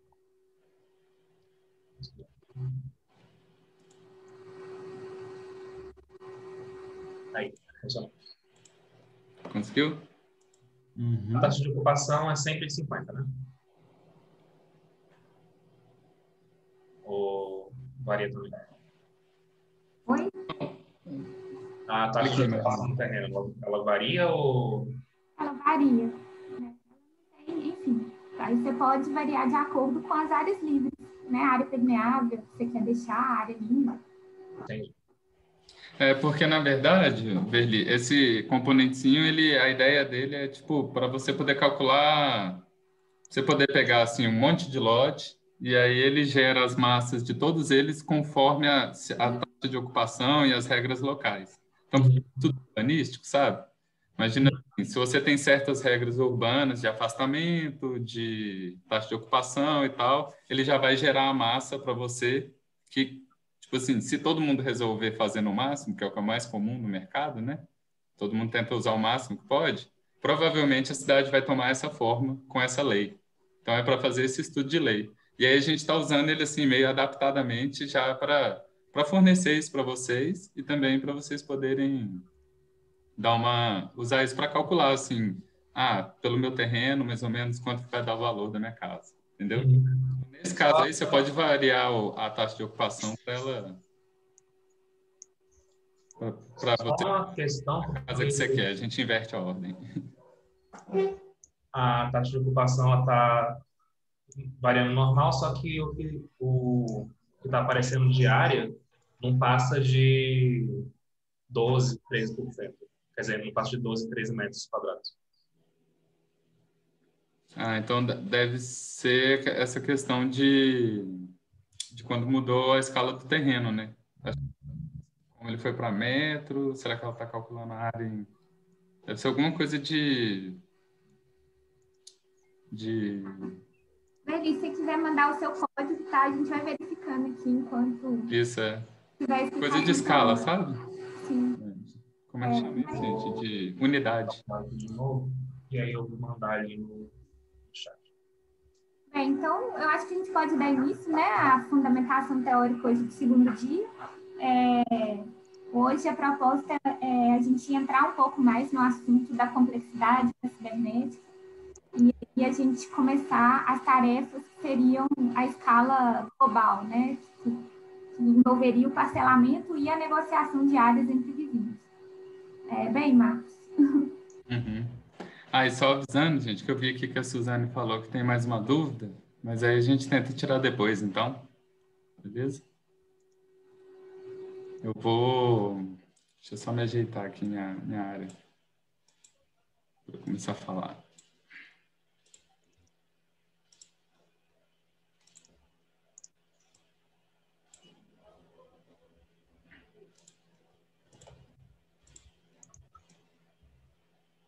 Então vamos lá, gente. A gente pode começar. Bom, é, eu vou apresentar agora é uma seleçãozinha que eu fiz dos principais conceitos que embasam a, a ideia aqui do workshop, sabe? É, é uma teoria um pouco puxada, mas é, eu, eu tentei, meu objetivo não é entrar em história e nem tentar apresentar a teoria da forma mais perfeita, e sim apresentar ela de uma maneira simplificada, com algumas metáforas, de um jeito que a gente consiga entender, sabe? Mas se vocês quiserem se aprofundar, tem uma a, a bibliografia que embasa tudo que eu estou falando aqui. Se vocês lerem os textos, vocês vão conseguir entender com muito mais profundidade o, o que eu vou falar, sabe? É, então, esses são conceitos que eu acessei via cibernética, mas muito provavelmente vocês já viram em outros lugares, né? Isso porque, junto com a cibernética, surgiram uma série de, uma série de campos na mesma linha, e isso lá depois da Segunda Guerra, né? E essas ciências se desdobraram mais um, mais um monte de vertentes, que são essas que a gente conhece, já deve ter ouvido falar hoje em dia, teoria do caos, teoria da complexidade, todas essas, né? É, todas essas é, linhas de pesquisa da área da, da informática, né, campo científico da área da informática, vieram daí. Então, é uma coisa que é difundida com vários nomes. Vou contar com uma visão específica. É, é um assunto muito abstrato, então eu gostaria que, se vocês não entenderem algo, vocês me interrompam. E pode ser por voz mesmo, porque assim é mais fácil de eu ver e, e se a dúvida for algo que eu vou falar depois, eu falo que eu vou explicar daqui a pouco. E aí, se não, eu já explico na hora, às vezes dou um exemplo, beleza? Então, vamos lá. É, nos anos 60, é nesse slide mesmo, tá? É, nos anos 60, que foi o, o auge da cibernética, esse arquiteto, que é o John Turner, desse livro da esquerda, ele usou um princípio da cibernética para argumentar que as políticas de habitação não tinham condições de prover moradia de maneira adequada. Então, qual era esse argumento? Ele afirmou que o problema era muito complexo para a capacidade de resolução do Estado. E aí ele usou uma, uma, essa regra uma regra da cibernética criada pelo Ashby, que é desse livro da direita, que foi onde ele criou essa lei, chama Lei da Variedade Requerida. Então, essa é uma regra que hoje em dia entrou para a computação também, que afirma que para que dois sistemas consigam responder um ao outro, eles né, se mantendo em equilíbrio, então toda vez que um faz uma perturbação no outro, ele responde de maneira equilibrada, eles precisam ter variedades equivalentes, que é o que a gente está mostrando nesse desenho no meio aqui. Então, basicamente, o que ele disse com essa afirmação do Estado é que se o Estado fosse um computador e o problema habitacional fosse uma tarefa, esse computador não teria capacidade de rodar essa tarefa. Ele não consegue assumir o número de formas que são necessárias para responder ao número de problemas que pode tomar forma o déficit habitacional, por exemplo. Então, aí pode passar. Então, é, esses gráficos aqui são de uma pesquisa que eu participei aqui em Belo Horizonte, foi feita com 350 famílias que estavam em processo de remoção em três vilas diferentes. É, era um questionário enorme de 50 questões, que foi feito a partir de questões abertas, então ele tentava pegar todos os aspectos de impacto econômico que eram indenizados pela, que não eram indenizados pela prefeitura nas remoções. Então aí a gente tem desde todos os tipos de interdependência entre vizinhos, quem cuidava do filho da outra, quem um monte de tipo de relações que faziam os vizinhos depender um do outro para conseguir trabalhar. A gente tinha atividades de produção em casa, que, são, que eram inviáveis em apartamento, porque aqui em Belo Horizonte as, o Minha Casa Minha Vida é só apartamentos. E aí, é, dependência na localização para trabalhar, para estudar, essas coisas, e o tamanho da família, que onde 40% das famílias que estavam sendo removidas simplesmente não cabia no Minha Casa Minha Vida, né? Que é no máximo três quartos. Não, é dois, três quartos, né? Então, você é, vê que realmente é uma realidade. O problema é muito mais diverso do que a gente imagina. Quer dizer, a gente imagina, mas do que o Estado, pelo menos, consegue responder. Aí pode passar o, o próximo. E aí, esse tema fica interessante porque ele toca na questão da necessidade, né? Então, afinal, o que é necessidade? É. Aí comigo? Não, só um somzinho de fundo aí, né? Não, pode, pode passar o, o próximo. Aí. Então, falando de necessidades, né, gente? É, é, essa questão é interessante, eu acho que como a gente vai trabalhar com isso, é importante falar disso rapidinho. Tem um, um filósofo, o Ivan Illich, ele morreu faz pouco tempo, ele fala que necessidades são desejos de uns projetados nos outros. Então, é bem polêmico, mas eu vou explicar. Ele afirma que a origem das necessidades é a escassez que surge quando as coisas passam a ser vistas como recursos apropriáveis. Então, uma vez que as coisas se tornam propriedade, existe uma competição por elas e elas se tornam escassas, né? Então, se, se, se, se alguém pode ser dono das coisas, ela, ela pode se apropriar de mais coisas, não vai ter para todo mundo, elas se tornam escassas. E onde há escassez, a gente vai precisar de economia, gestão e troca para poder viver. Então, nesse jogo da economia, né, ah, como algumas pessoas por vezes saem desfavorecidas, surge o conceito de necessidade. Então, é, é, diferente do desejo, que, que é uma coisa que vem do próprio sujeito e não precisa de justificativa, a necessidade é colocada nas pessoas por alguém ou por alguma lógica. Então, é aquilo que você julga que a pessoa precisa, mas, na verdade, é o que ela precisa para desempenhar um papel que a gente espera dela. Então, você tentar definir a necessidade dos outros nunca vai deixar de ser uma certa manipulação. Você acha que ela precisa daquilo porque você acha que ela tem que, tem que ter uma certa condição, é uma... E esse você acha pode ser também profissionais, de sociologia, ou de alguma coisa assim. Mas a, crítica que ele faz é cada vez mais isso vai se afastando da própria pessoa poder decidir o que, que ela quer, né? E, e as necessidades serem colocadas nela. Às vezes ela não precisa e falam que ela precisa, então isso é muito comum em favela. Por exemplo, quando os arquitetos vão fazer trabalho em favela, eles ficam muito incomodados com a questão de ter pouca janela, às vezes de não ter, é, fala que vai dar umidade e tudo mais. Mas esse, às vezes, é o menor dos problemas das pessoas que estão morando lá. Eles estão muito mais preocupados com outras coisas. Então, a prioridade de quem está fora não é mesmo de quem está dentro, né? E aí entra essa questão da necessidade, e eu acho que é interessante refletir sobre isso. Então, o conceito de necessidade, que rege política pública como de habitação, por exemplo, ele tem como foco manter uma força de trabalho operacional. Esse é o, é o, o foco da, da, política de habitação, né? Então, desejos pessoais, como a gente é, né, arquiteto, é acostumado a lidar no projeto de uma casa, eles não passam nem perto de ser considerado num, num caso desse. E, e é, isso nem é questionado, assim, a gente não vai parar para questionar isso, porque tá tão, a gente está tão acostumado com isso, né? E hoje, com a, a, popularização da linguagem de sistemas, que ela já permeou tudo, ecologia, tudo mais, todo mundo está falando de sistemas, de um jeito, entendendo tudo como sistemas, isso evoluiu mais um passo ainda, que é onde passou a se assumir que as pessoas, além de suas necessidades, elas são peças de um sistema que tem certos requerimentos para funcionar.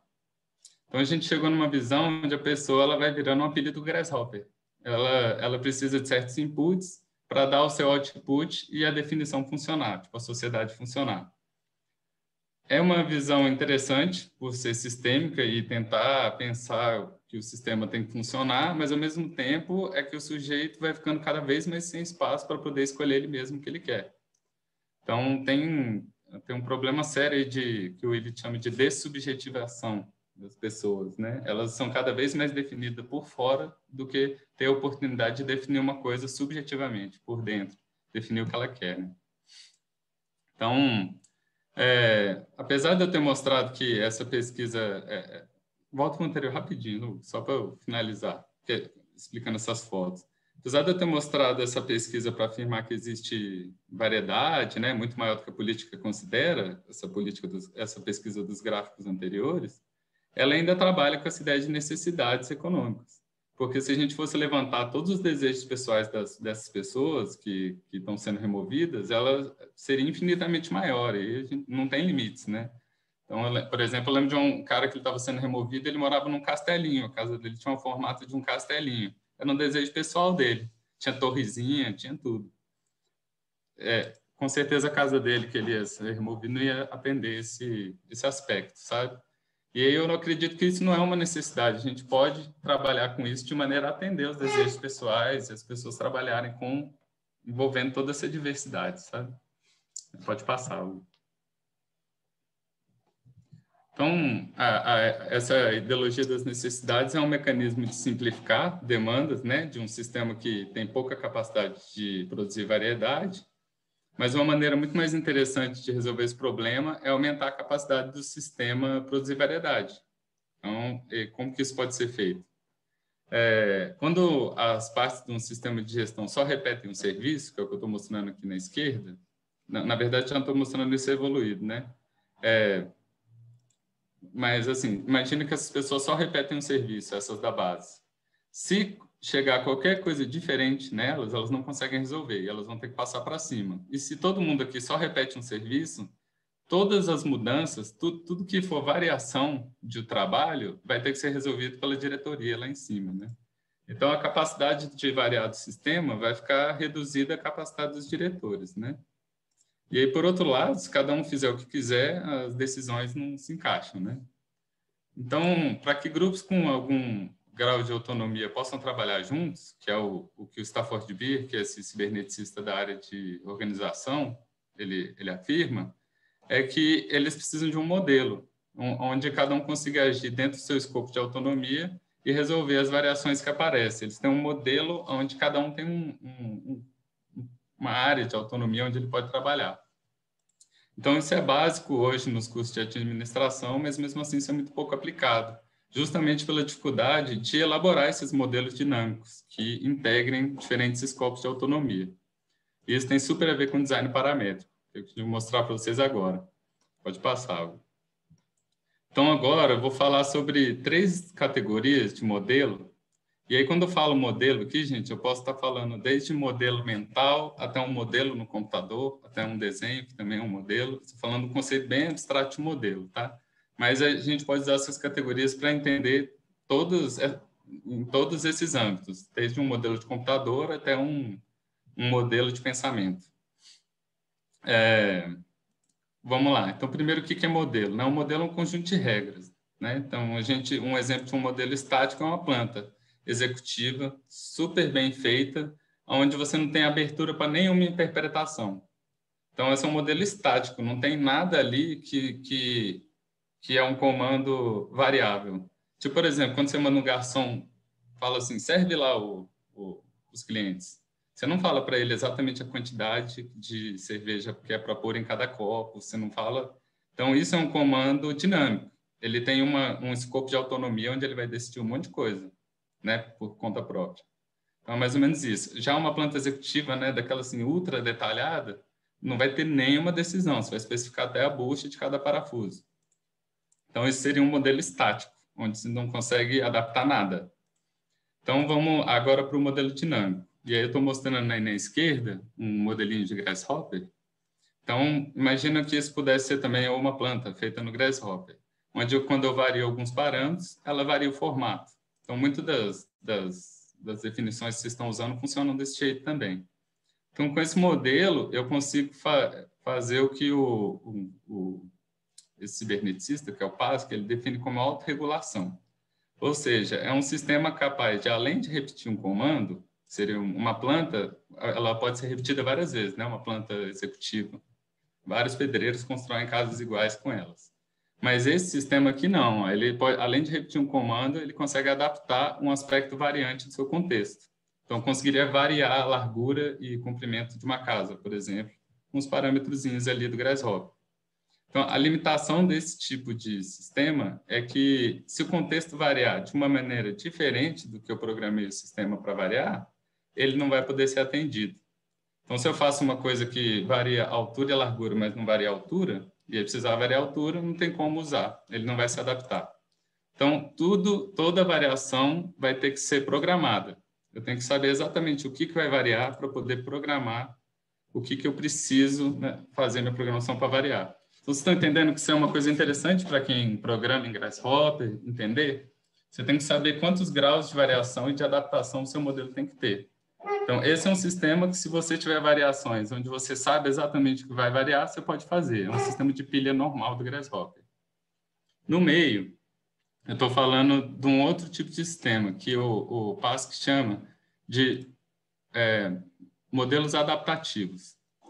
Então, é, muitos fenômenos que, que, que, a gente encontra, que a gente lida, eles são adaptativos, ou seja, no decorrer da própria autorregulação, da variação deles mesmos, eles mudam a forma como eles afetam a si mesmos, criando mais um grau de variação. Então, eles são fenômenos que variam a forma como eles variam. Então, é, para lidar com esse tipo de fenômeno, eu preciso de modelos que sejam capazes de escolher autonomamente, de acordo com uma estratégia que eu vou especificar, qual a melhor maneira de executar o comando diante das variações do contexto. um complicado, né? Mas vou tentar explicar isso um pouco melhor. Então, na, na computação, normalmente a gente faz isso com adicionando outra máquina com memória, que serve para manipular os, os parâmetros da primeira e otimizar a regulação dela por meio de comparação e seleção de melhores resultados. Então, o que, que, que a gente faz nesses casos? Aí, nesse caso do meio aí, é um, usando o plugin Galápagos, né? Ele, no plugin Galápagos, você pega todos os parâmetros pelos quais um modelo pode variar, e aí você conecta eles ao, ao Galápagos e ele vai ficar fazendo tentativas aleatórias de começo e depois começar a selecionar e cruzar as melhores tentativas de variação desses parâmetros, de combinação desses parâmetros, e ele vai pegar o resultado de cada uma dessas tentativas e comparar com o que você quer. Então você só dá duas, duas coisas para ele, os parâmetros e o que, que você quer. E ele vai ficar tentando, ele usa um algoritmo genético para cruzar essas tentativas até chegar na mais próxima do que você quer. Então, é, é, apesar de né, ser muito útil esse tipo de, de utilização assim, do, do, design paramétrico, a limitação desse tipo de modelo é que ele só é capaz de se adaptar usando as estratégias que você especifica para ele. Então, você que diz os parâmetros que ele vai variar e o quanto que ele pode variar. Se isso não for suficiente para ele atingir um objetivo que você quer que ele atinja, ele não vai conseguir. Então, é, tem uma limitação também. Né? Ele não vai é, inventar a roda aqui se você não der todos os parâmetros onde seja possível inventar a roda, sabe? Então, é, é você dá um pouco mais de abertura para o computador, mas você tem que dar os escopos certinho para ele procurar. E aí, aqui na direita, é, eu estou tentando dar os exemplos mais simplesinhos possíveis, gente, mas tem aplicações, assim, absurdas, essas coisas. Eu estou mostrando aqui a estratégia de auto-organização, como que a gente usa isso no computador, e a gente está usando isso no workshop. Várias dessas estratégias que vocês estão usando são de auto-organização, tipo a dos discos elásticos, é uma estratégia de auto-organização. Então, como que ela funciona? Em vez de você ter, no caso do adaptativo, você tem duas máquinas de interação e ela, essa máquina consegue fazer essa se adaptar mais, né? No, na auto-organização, a estratégia é você criar uma infinidade de máquinas que vão interagir, máquinas autorregulatórias que vão interagir e vão ser colocadas em interação paralela para se auto-organizar. E aí a gente tem uma outra máquina de comparação e seleção que direciona a evolução de, dessa máquina para fins determinados. Tá, não deve ter entendido nada disso, né? Mas depois eu, eu passo os textos também, vocês podem é, aprofundar nisso, deixa eu só explicar esse exemplo, que ele, ele sim é simples, eu acho que com ele vocês vão entender. Vocês estão vendo aí, ó, que tá, tem uma tabelinha e aí sai essas bolinhas pretas dela. É um, chama celular autômata, é uma coisa que surgiu lá nos anos 50. É, e esse especificamente aí chama jogo da vida. Qual, qual que é essa lógica desse celular autômata, gente? É, uma, uma, é um tabuleirinho, você faz um tabuleirinho e você cria uma regra. Então, a regra é assim, é, as, os quadradinhos do tabuleiro, eles podem estar preto ou branco. E aí você cria uma regra assim, ó, cada célula dessa, do, cada quadradinho desse tabuleiro, ela vai ficar preta ou ficar branca de acordo com a situação dos vizinhos. No jogo da vida, a regra é assim, se tiver mais de três vizinhos preto, ela, ela morre. Tipo, é superlotação, ela morre. Se tiver menos, ela morre de solidão. Se tiver poucos demais. Então é mais ou menos isso. Eu coloquei aqui na tabelinha quais são as regras. São quatro regrinhas. E aí ele fica recalculando.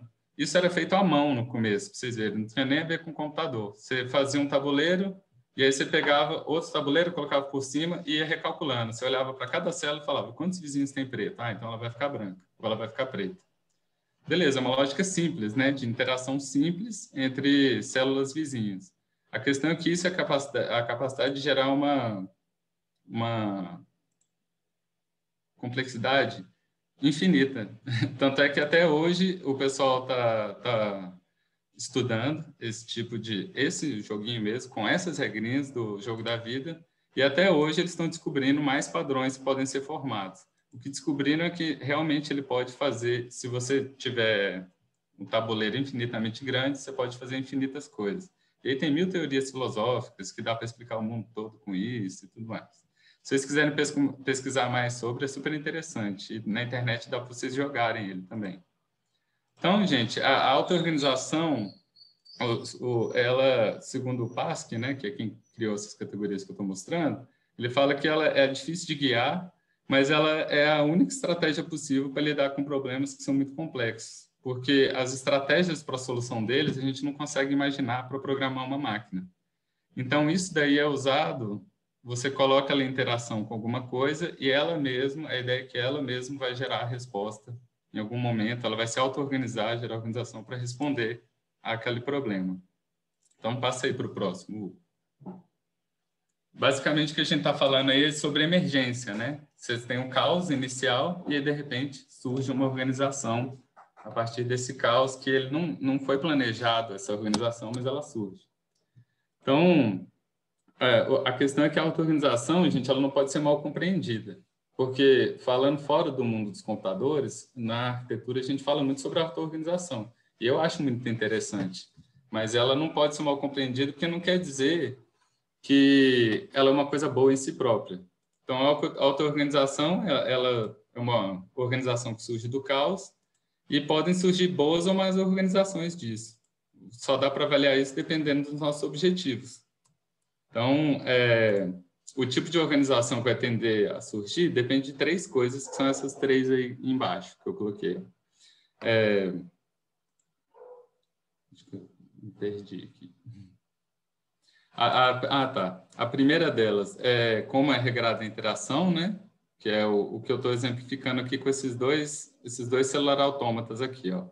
Tem uma mudança sutil na regra dessas duas tabelas aí, gente. É, naquela questão do número de vizinhos. Então, uma, ela, se tiver quatro vizinhos pretos, ela paga. E na outra é três. Uma mudancinha sutil. E isso é o bastante para que, no lado esquerdo, você tenha esse tipo de formação, a partir de um caos inicial, e na direita, a partir do mesmo caos inicial, você tem essa formação aí dessas cavernas estáticas. Então, ou seja, a estrutura de interação, a, a regra de interação é muito importante no que, que vai ser, surgir de um processo de auto-organização. Então, estou falando de programação, estou falando da gente também tentando se auto-organizar para fazer essas vilas, sabe?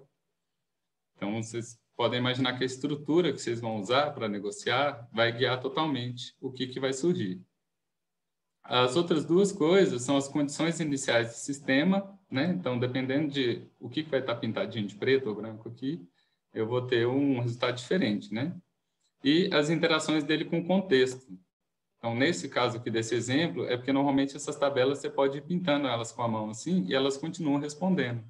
Você, dá, você tem um, input externo. E aí, no nosso caso de organização de vilas e tal, você tem a questão de que todas as pessoas estão no contexto, tem outros agentes também. Então, o contexto, a situação inicial e a estrutura de interação, basicamente, vão ser o que vai guiar o que vai tender a surgir de um processo onde existe essa liberdade de organização. Né? Então, pode passar para o próximo? Então, essa ideia, ela é, é também uma tentativa de superar o que a, uma, falando assim de organização de pessoas, é, tenta, é tentando superar o que essa cientista política e feminista, a Joe Freeman, chamou de tirania da horizontalidade, da falta de estrutura, mas no inglês ficou é da falta de estrutura, mas eu chamo de horizontalidade, né? Então, ela, essa, o que, que é essa tirania? Você rejeitar assumir regras de organização em prol de uma suposta liberdade. Mas a verdade é que tudo que não é formalizado tende a consolidar relações e protocolos informais existentes ou cujo o contexto tende a formar. Então, é isso que eu estou tentando mostrar aqui na esquerda. Ó. Um, um protocolo que é, é, não, um protocolo não, né? Uma ausência de protocolo, vocês falam assim, não, não vai ter regra. Ela provavelmente as pessoas vão se organizar do jeito, com as relações que já, que já existem, elas vão ter, tender a se organizar da maneira como elas já são acostumadas. E a reproduzir problemas também que já vêm dessa maneira aí. Então, é, no meio aqui, eu estou mostrando a questão que de um protocolo de reunião que a gente adota muitas vezes como se fosse neutro também, que é a assembleia. Só que ela não é neutra, né? Ela tem uma influência nos resultados. Então, vou explicar um pouco a questão dessa influência, que eu não sei se vocês já refletiram sobre. A comunicação na Assembleia ela é serial. Então, uma pessoa fala depois da outra. Não tem como várias pessoas conversarem ao mesmo tempo sobre coisas. Então, quanto mais gente, mais pauta e menos tempo de fala, né? Porque no mesmo tempo de reunião vai sobrar um tempo menor, mais gente vai trazer mais pautas. O resultado disso é que o tempo, então, ele vai ficar escasso comparado com o número de coisas que tem para resolver. E aí a gente vai começar economia, né? Quando a gente tem escassez, a gente tem economia. E a primeira delas é a eleição do que é relevante discutir. Então, usando muitas vezes aquela ideologia das necessidades, a gente vai eleger o que, que não é pertinente para a reunião e o que, que é. é. A segunda coisa é o tratamento das questões como se elas fossem iguais para todo mundo. Então, quando a gente começar a falar sobre é, isso eu já tive essa experiência com ocupações, tá, gente? As pessoas. A gente começa a discutir numa reunião, aí uma pessoa fala que ela quer ter uma garagem. Aí todas as pessoas começam a falar assim: vamos decidir se, to, se vai ter garagem ou se não vai ter garagem nas casas. Eu falo assim: gente, quem quer a garagem é ela. Porque é, a tendência da Assembleia é que todo mundo comece a se tratar todo mundo como se fosse igual. Então, quando se vai ter uma coisa, vai ter para todo mundo. Se não vai ter, não vai ter para ninguém.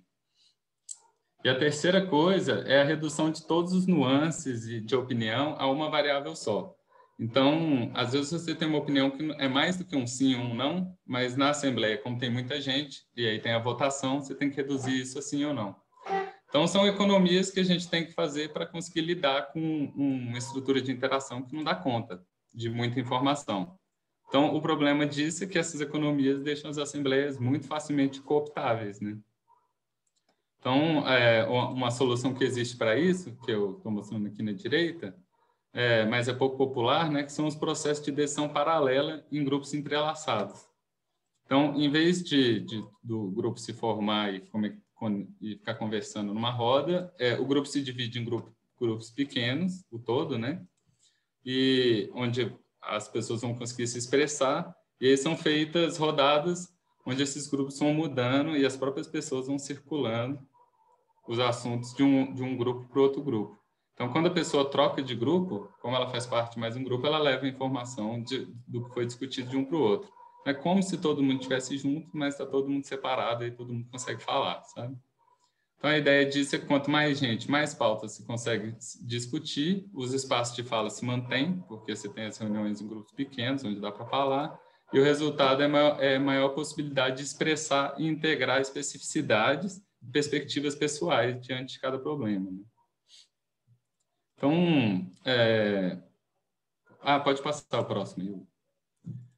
O problema, gente, quando a gente vai trazer isso, né? Isso é um método de reunião interessante e tal, mas quando você vai trazer isso para planejamento espacial, aí a gente tem que pensar a própria ferramenta do arquiteto. E aí eu trago de novo aquela discussão do parâmetro. É, para que esses sistemas de processamento paralelo, discussão paralela funcionem, a gente precisa usar modelo dinâmico. Por quê? Porque é preciso que exista um espaço para acomodação das decisões que foram tomadas paralelamente por outras pessoas. Então, é por isso que a gente sugeriu aqui, na, todos esses modelos que a gente está mandando para vocês, são modelos que trabalham com topologia, que é aquela ideia do Bill Hiller que a Marina apresentou, né? Porque a topologia, ela deixa a geometria livre, né? Ela trabalha com o conceito de configuração, né? Que é esse conceito do que conecta com o que, mais do que do que qual que é o formato, a forma, ele não, não liga para a geometria, né? Então, assim, você estabelece a configuração do espaço e esse espaço de variação geométrica fica livre para justamente acomodar as diferentes decisões entre as pessoas. Esse é um exemplo. Você poderia também ter a topologia livre e a geometria presa, mas é, é justamente o que o Hiller fala lá. A gente é muito mais importante socialmente a topologia, as relações topológicas, a configuração, do que a geometria né, do ambiente. É muito mais importante se a sala vai estar do lado da cozinha do que se a sala vai ser triangular e a cozinha quadrada, sabe? Tem, é, tem essa questão, mas é, tudo isso é discutível, né? Pode passar o próximo. Então, é, é, essa surgiu essa ideia, né, do, do, workshop surgiu um pouco disso, né, junto com uma discussão minha com o Guia Marina e, e, essa ideia de que pode passar, Guga. E então a gente elaborou esse método de que primeiro a pessoa reflita sobre as suas necessidades individuais, né, pode passar o grosso. Depois ela negocie paralelamente, né, em pequenos grupos, para encontrar os pontos de convergência e divergência. E normalmente quando a gente pensa em negociação paralela, a gente tem aí alguns métodos que, que vêm à cabeça. Eu listei três aí, que eu acho que alguns são mais comuns e eu vou tentar mostrar o que eu acho mais interessante. Pode passar. Acho que o primeiro que vem em mente, quando você pensa assim, ah, vamos fazer grupos para trabalhar paralelamente, é a organização em chaves, né? Então, é, só que conforme as chaves elas vão se afunilando, então numa primeira rodada a gente poderia trabalhar todo mundo em dupla. E aí numa próxima rodada a gente junta essas duplas. Só que aí, conforme elas vão se afunilando, os grupos vão ficando grandes do mesmo jeito. Então, apesar de ter um trabalho paralelo, ele é hierarquicamente organizado integrado, ele é integrado hierarquicamente. E o problema disso é que chega uma hora ou a gente vai ter um grupo grande, uma assembleia no final, e, ou então a gente vai ter que usar representantes, que é, lembra muito a, a, nosso sistema político, né? Você tem que usar o representante para poder levar a mensagem do grupo até lá. E a gente sabe os problemas que isso pode acarretar, né? Então, é, além disso, tem uma outra questão que as pessoas em chaves que estão longe, elas não têm oportunidade de conversar sentar numa assembleia, porque na assembleia não dá para conversar. Essa é uma coisa que o Pasque afirma também. Ele fala que a comunicação ela precisa de mensagem e retorno, mensagem e retorno. E na assembleia você não consegue ter mensagem e retorno, né? Você fala, dali duas horas você consegue falar de novo, né? Depois um monte de gente falou um monte de coisa, o assunto já se perdeu. Então vira um monte de discurso, né? Uma lógica do post. A pessoa posta uma mensagem, mas ela não tem um diálogo. Pode passar aí. Aí uma outra estratégia interessante, que vem do, do Stafford B, que é um cibernético que eu já citei para cima, chama Problem Jostle. Só que esse nome é meio complicado, eu chamo de feira em português.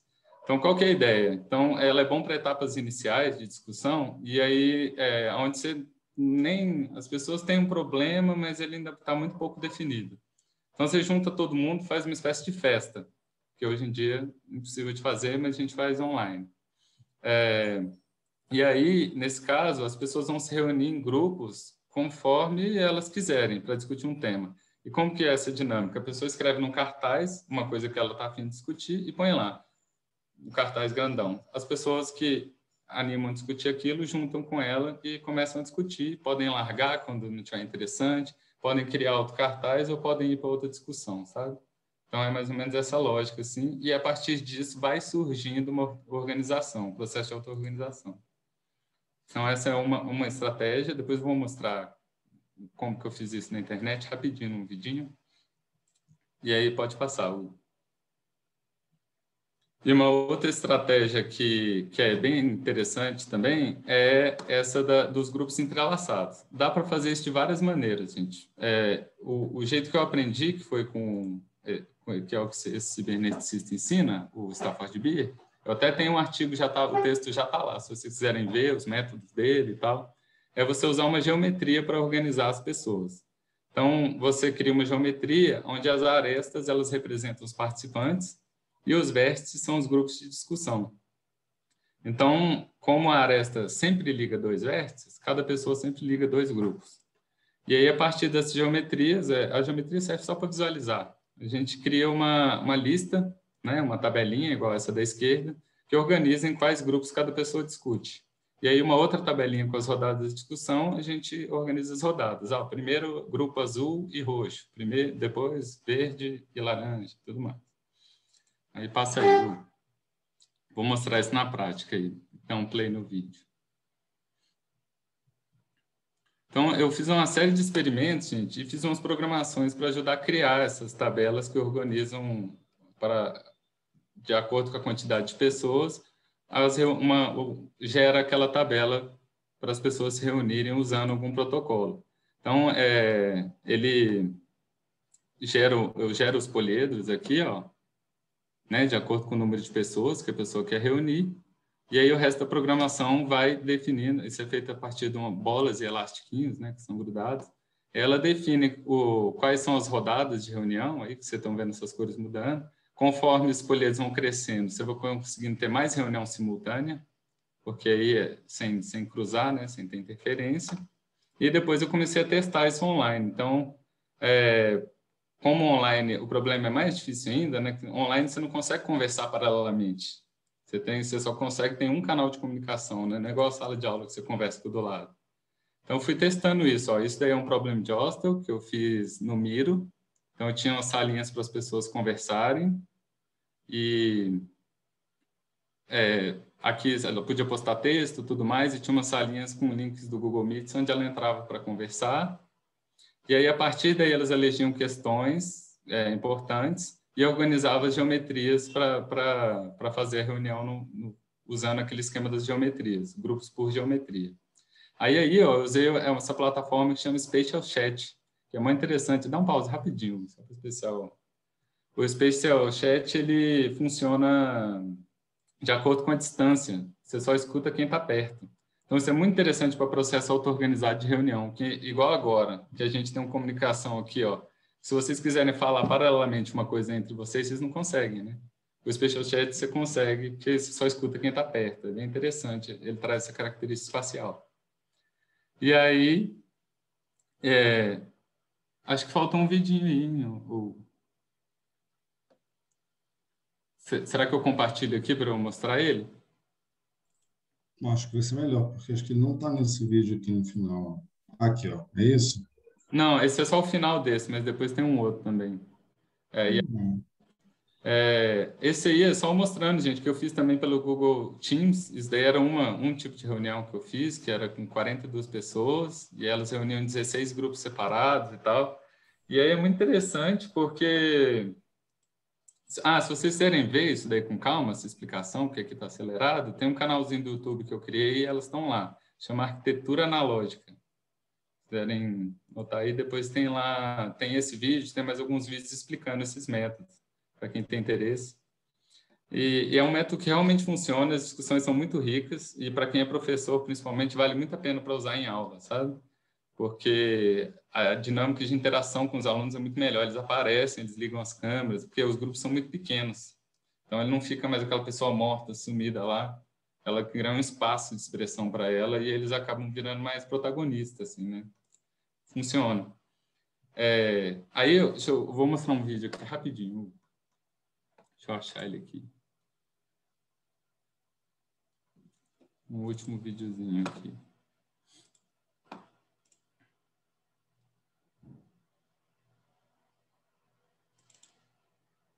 Não, esse aqui.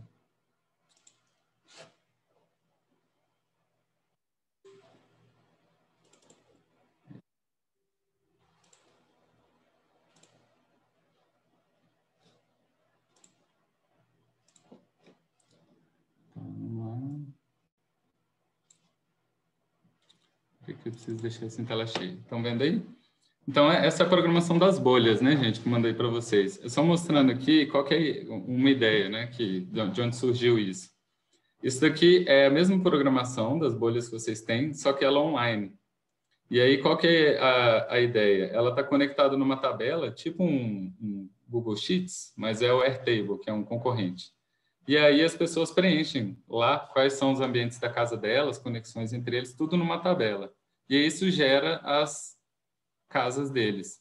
Então, isso gera uma, uma coisa que no começo é totalmente desorganizada. Aqui é mostrando aqui a tabela, tá vendo? Então, a pessoa coloca lá o nome dela, Elisa. Aí, sala, mercearia e tal. É, dá para criar espaço público, elementos lineares, aí cria ruas, que vira uma cobrinha de bolinha, sabe? Então, aqui criando uma aqui, ó, Jonas. Quando você coloca o um nome, ele já aparece já uma tabela separada. Isso vai criando os ambientes.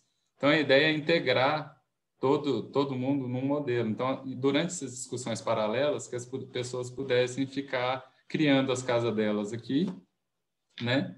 É, e vendo o resultado, assim, ah, não, então acho que a gente devia integrar a minha sala na sua, vamos fazer uma piscina conjunta entre nossas casas. Aí elas vão lá e criam esse ambiente, criam um elástico e conectam suas casas. E isso o tempo todo em tempo real eles conseguem visualizar. E aí tem essa coisa da auto-organização, que é essa característica aqui de de que eu parto, é, principalmente se tiver 150 famílias, nesse caso aqui, gente, só tem 30. Não, 30 não, tem 20. Só tem 20, e olha o, o bololô que é para isso se resolver. Então, é, a gente tem a opção de aumentar a energia de colisão entre as bolinhas para ele se auto-organizar. Então, você consegue sair de uma situação inicial que seria difícil do arquiteto imaginar, como que eu começo a colocar esse tanto de necessidade em conjunto. E aí você, ele, o próprio modelo se auto-organiza. Né? Então, que é um pouco esse princípio do que eu estava tentando passar aí hoje com a explicação da cibernética. E é isso. Desculpa a falação aí, gente. Hoje foi pesado. Bem, Joia Marcos.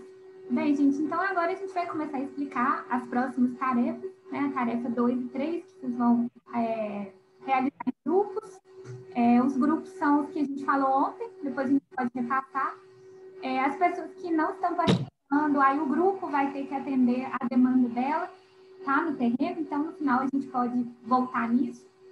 É, bem, pode falar.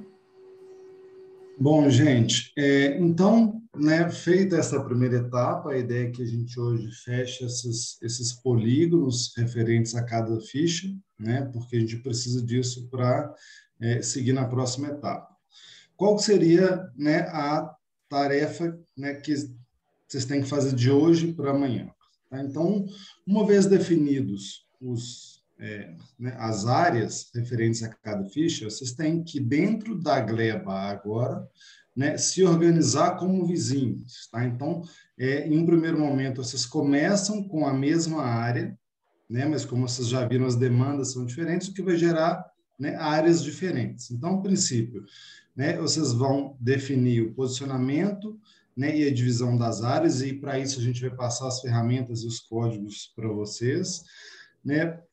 Né? Vocês vão ter que negociar essas é, áreas em função né, de, que cada, de cada demanda, né, de cada ficha, e utilizando esses métodos que o Marcos né, acabou de explicar, ou outros, tá? Da mesma forma que vocês né, têm essa abertura de, tiveram a abertura de trabalhar outros métodos para se chegar na divisão de áreas, vocês também podem usar outros métodos de negociação.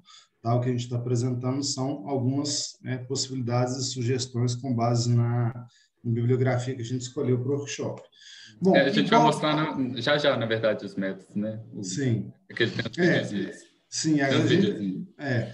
Então, gente, é, nesse primeiro momento é só para vocês entenderem, o que, assim, visualizarem o que tem que ser feito, Tá? daqui a pouco a gente vai mostrar como. Então, o resultado disso seriam, né, para amanhã.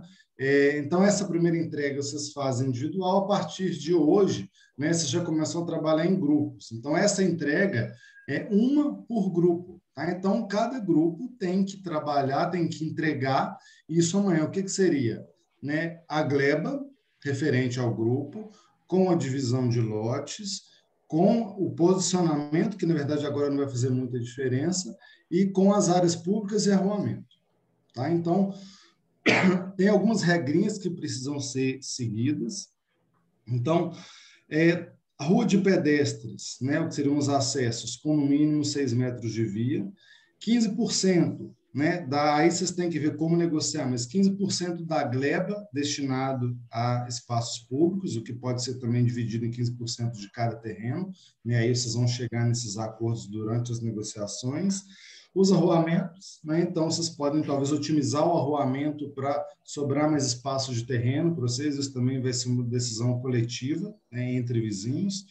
É, e uma obrigatoriedade que é de ter uma conexão com as malhas, né, com os acessos adjacentes. No caso né, dessa gleba aqui do exemplo, né, com a via aqui, mas ela também tem que ter uma saída para essa gleba, tá? Porque a partir daí a gente vai fazer na próxima etapa a negociação entre vizinhanças. Tá? Então, é, no primeiro momento vocês trabalharam individual, agora a gente vai fazer as negociações entre vizinhos, Tá? E na próxima etapa vão ser as negociações entre vizinhanças.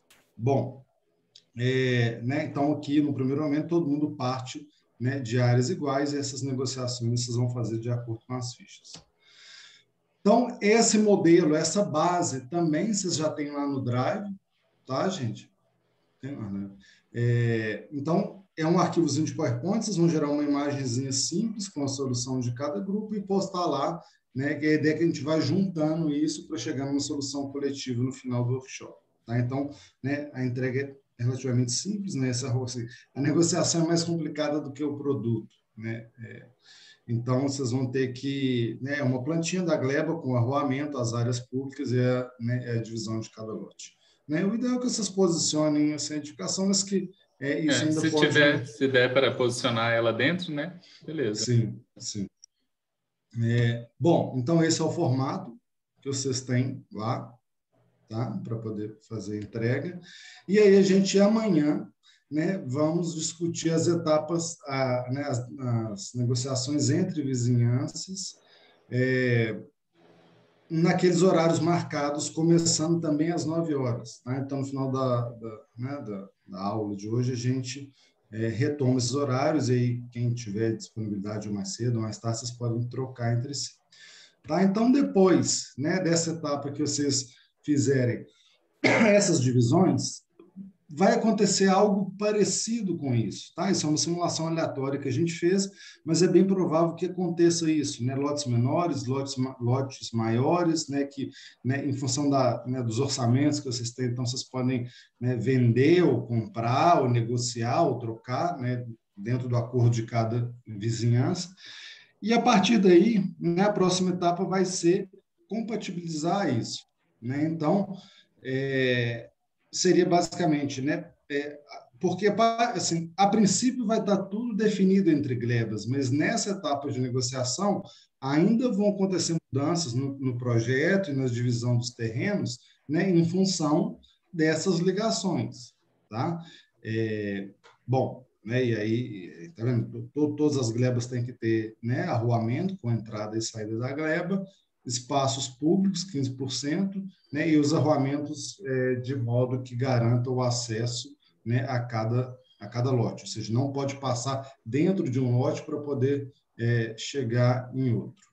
Tá? Bom, e como que essas negociações elas vão ser feitas, tá, gente? Então, aqui, né, elas podem ser feitas de outras maneiras, né, que extrapolam as estratégias sugeridas. Isso eu já é, uhum. falei.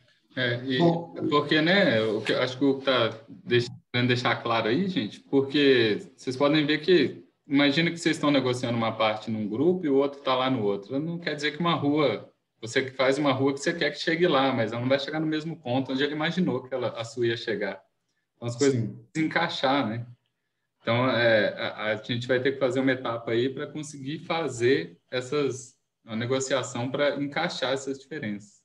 É, porque é muito difícil a gente conseguir negociar é, tudo de uma vez. Então, a gente está seguindo uma hierarquia, uma ordem né, entre vizinhos, entre vizinhanças, para depois fazer essa costura geral entre as glebas né, e conformar o loteamento de uma forma né, que atenda a todas as demandas. Bom, então como que essas negociações entre vizinhanças elas vão ser feitas, tá? É, basicamente, é entre vizinhos que compartilham a mesma divisa, tá? Então a gente tem algumas regrinhas aqui para ser seguidas, né, com relação à largura de vias, com relação né, a, a, aos espaços públicos, todas as casas têm que ter acesso, né, ligações com vias externas, tá? então a pessoa não pode ficar ilhada dentro né, de uma gleba. É, e, bom, então, né, o desenho que mostra, com base nessa simulação, como que isso aconteceria. Tem até um errinho aqui, é, mas a ideia né, que assim, as, os vizinhos, eles que estão bordeando outra vizinhança, né, eles façam essas negociações entre os pares aqui. Tá? Então, né, é, aí, claro que essas negociações elas vão ser feitas em função da divisão de lotes que vocês né, é, chegarem, tá? Na negociação agora, né, dessa etapa de hoje para amanhã. A gente já está falando né, da, da, da, próxima, tá? Bom, é, e, a, e a partir né, dessas negociações, a gente vai utilizar, né, o que eu acho que é o intuito do workshop, alguns métodos paramétricos para poder amparar e auxiliar essas negociações né, e, e facilitar a visualização. É, bom, esse primeiro vai ser divisão por áreas iguais. Eu vou dar um play aqui.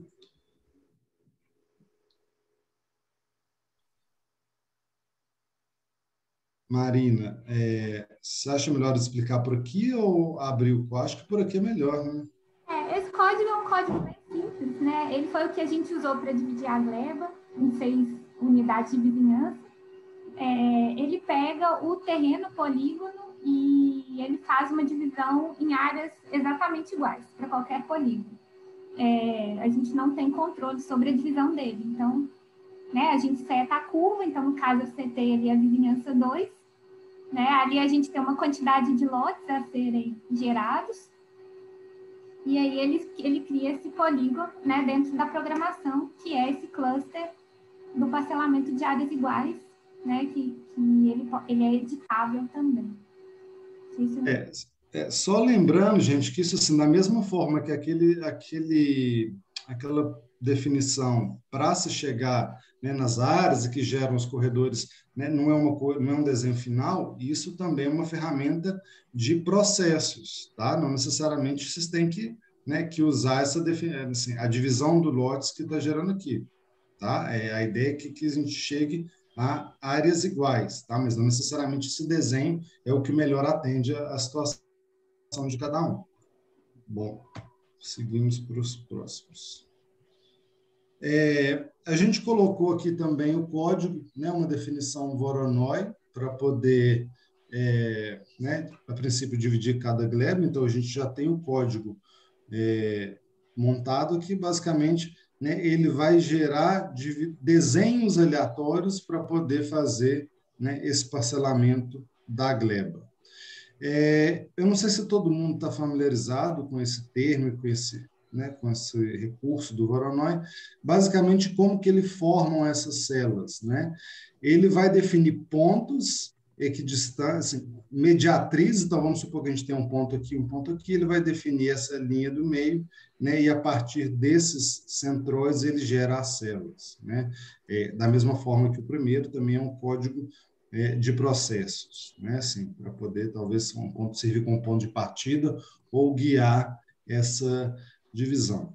É, com relação à manipulação do código, tá, assim, basicamente vocês vão ter que linkar a curva aqui né, que, né, que então selecionar a curva da gleba, né, é, reconhecer ela no Grasshopper e a partir daí vocês vão ter né, alguns é, parâmetros, alguns sliders para poder trabalhar.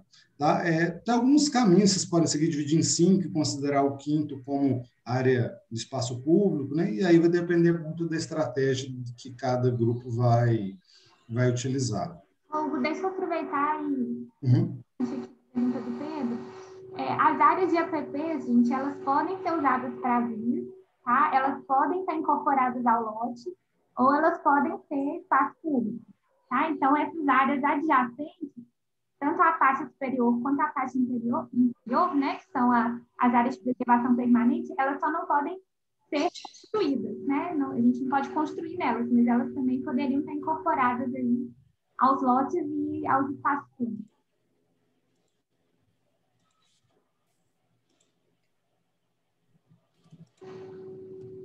Marcos, é, você que conhece mais o das bolhas, uhum. você explica a gente, por favor? Uhum. Então, gente, esse das bolhas, ele é, é um mais topológico também. A ideia dele é que você, para você tenha pessoas com áreas iguais, e aí para adicionar uma pessoa, igual eu estou escrevendo ali na tabela, José, ele criou mais um nome, tá vendo? A questão é que as áreas ficaram muito grandes para o tamanho do terreno, então, diminuir um pouco para as bolhas caberem. Por isso que ela que a, que a, que a programação parou de funcionar ali por um momento.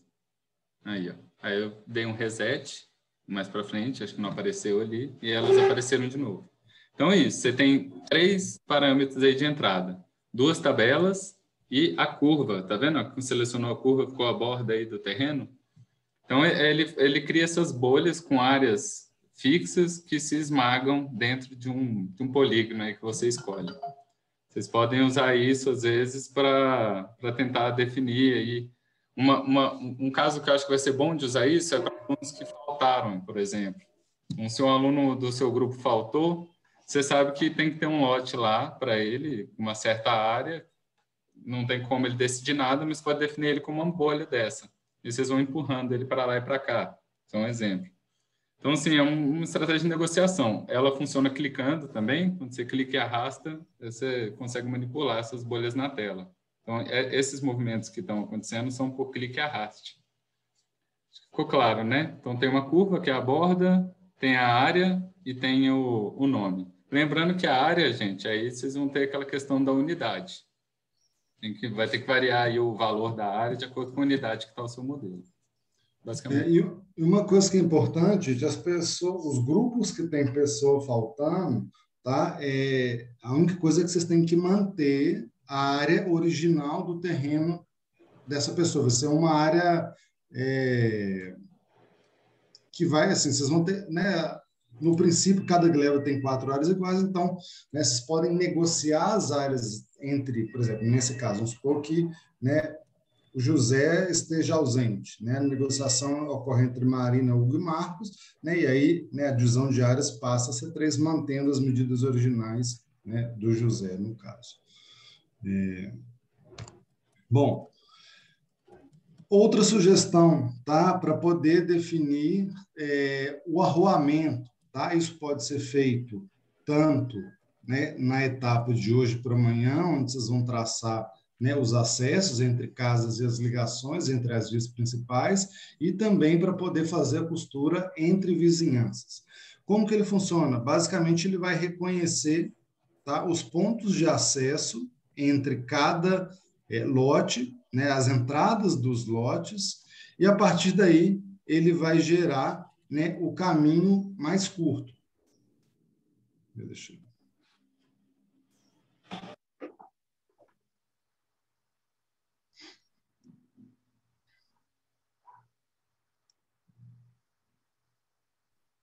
Esse vídeo está mais, mais, mais lento. Então, aqui ó, foram definidos né, é, os centros dos lotes, e aí ele vai reconhecer. Deixa eu adiantar um pouquinho aqui.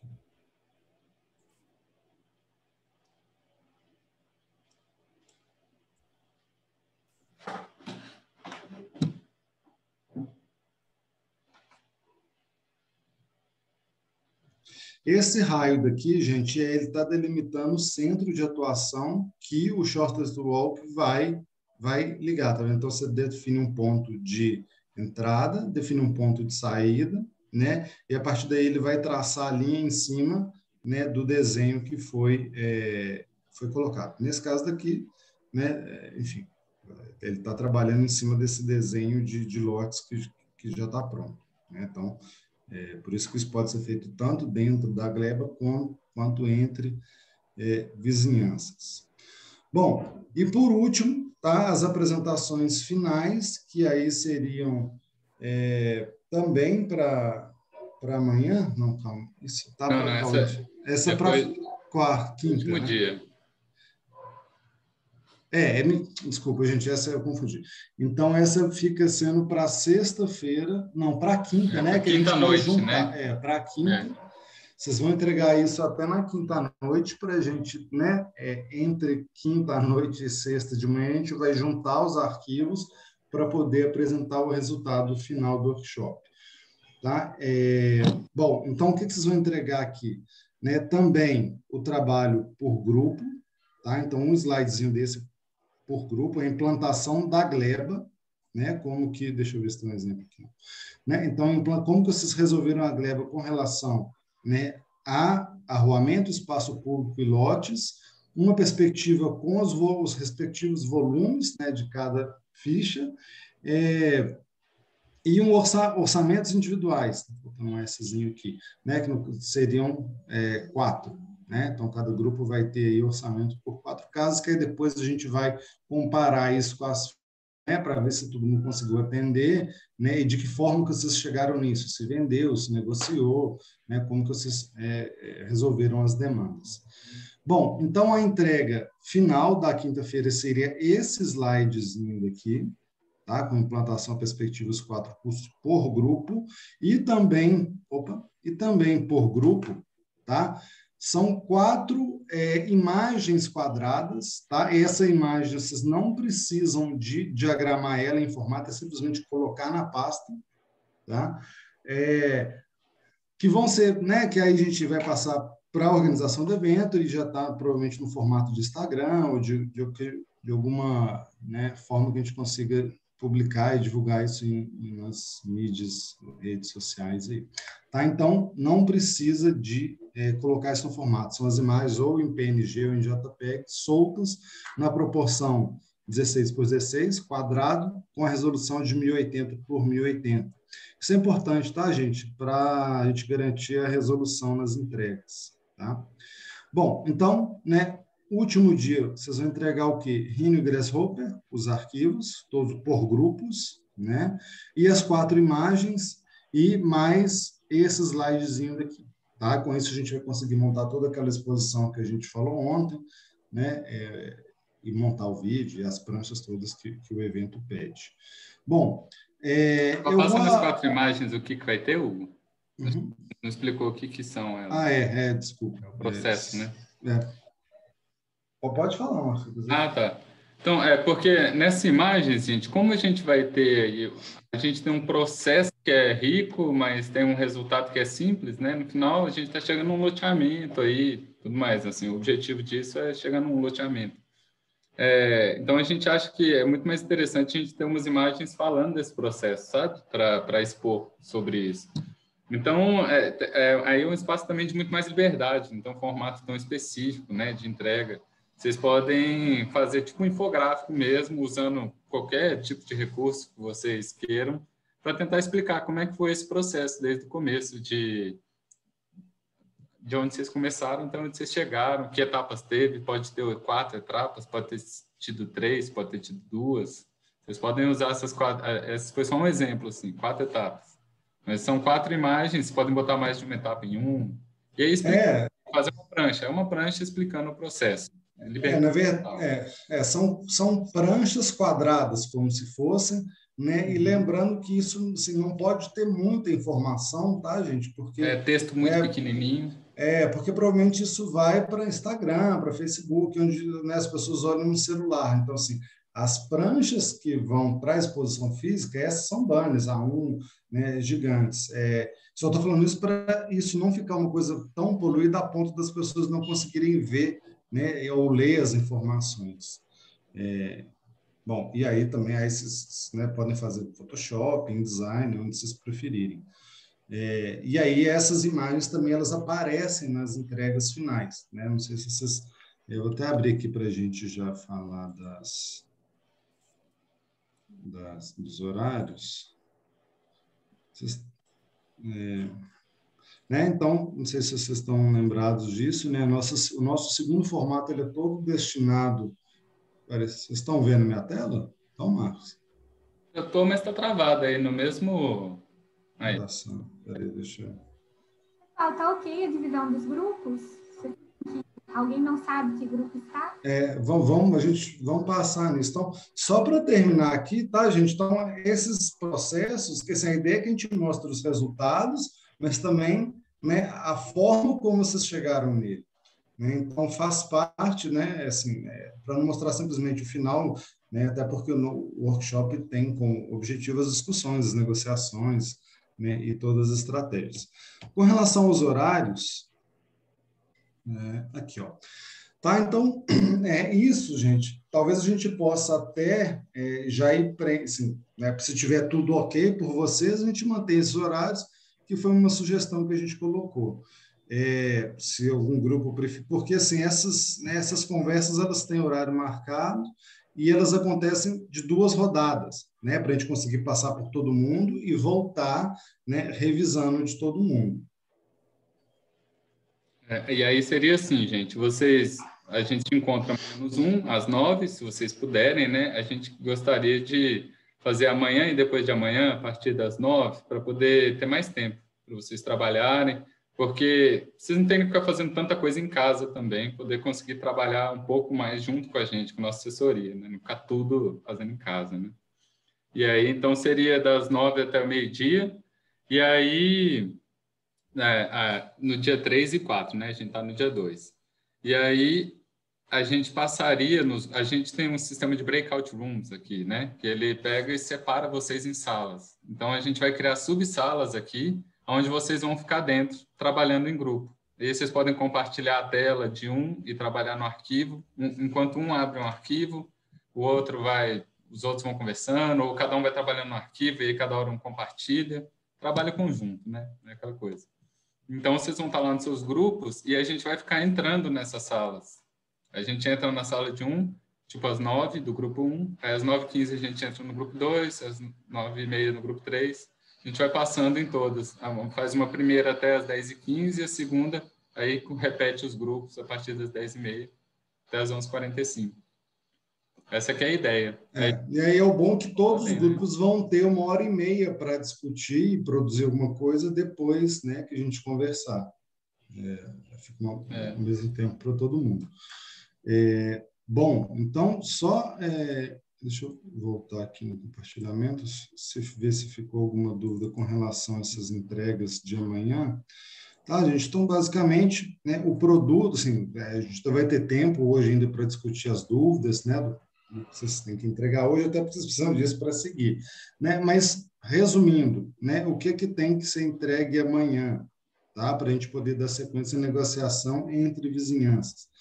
É, isso aqui, tá? Então, a gleba, divisão de terrenos, posicionamento né, dos, dos programas é, e arruamento conectando uma borda à outra da gleba.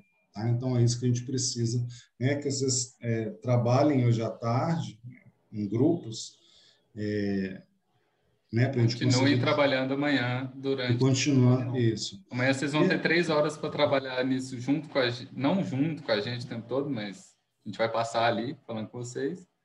Mas ideal é. já podem começar isso já hoje. E aí vocês chegam já amanhã. É. Mas, e aí, se alguém tá, tiver algum. alguma dúvida com relação aos grupos, tá? É, me, me, lembra que só para eu ir marcando quais, quais, as pessoas que estão ausentes em cada grupo? Então, elas estavam ausentes, mas ó, o Jonas está aqui hoje, inclusive hum. se apresentar. Bom, ele estava aqui. Uhum. Aí o Jonas, aí. Jonas, você conseguiu o primeiro dia? Estão tá, me escutando? Tá. Sim. É, ontem eu não pude, não pude porque eu estava em aula, aí mais assisti a aula e uhum. dá para fazer, dá, tá dando, eu só tô, acho que eu ia perguntar para vocês se tem problema de usar o Rhino 5, porque o meu Windows ainda é 97, tem uma maquininha velhinha ainda. Uhum. Mas eu, eu consegui linkar tudinho e, e consegui fazer o primeiro exercício, eu ainda hoje mando para vocês e vou, vou fazer o contato com o grupo 6, o, os outros membros. Já fiz contato com a Desirê e com a Amon e só falta a Luísa só. Ah, que ótimo, beleza. É, acho... Ah, e obrigado por, por me aceitar e obrigado por a gente trabalhar junto aí. Aqui no Nordeste não tem muita gente, não tem muitas pessoas que mexem com isso. E como eu estou fazendo minha tese de mestrado em cima de, de Rino Grashope, eu conversar com vocês sobre Rino Grashope está sendo muito rico para mim. Muito obrigado.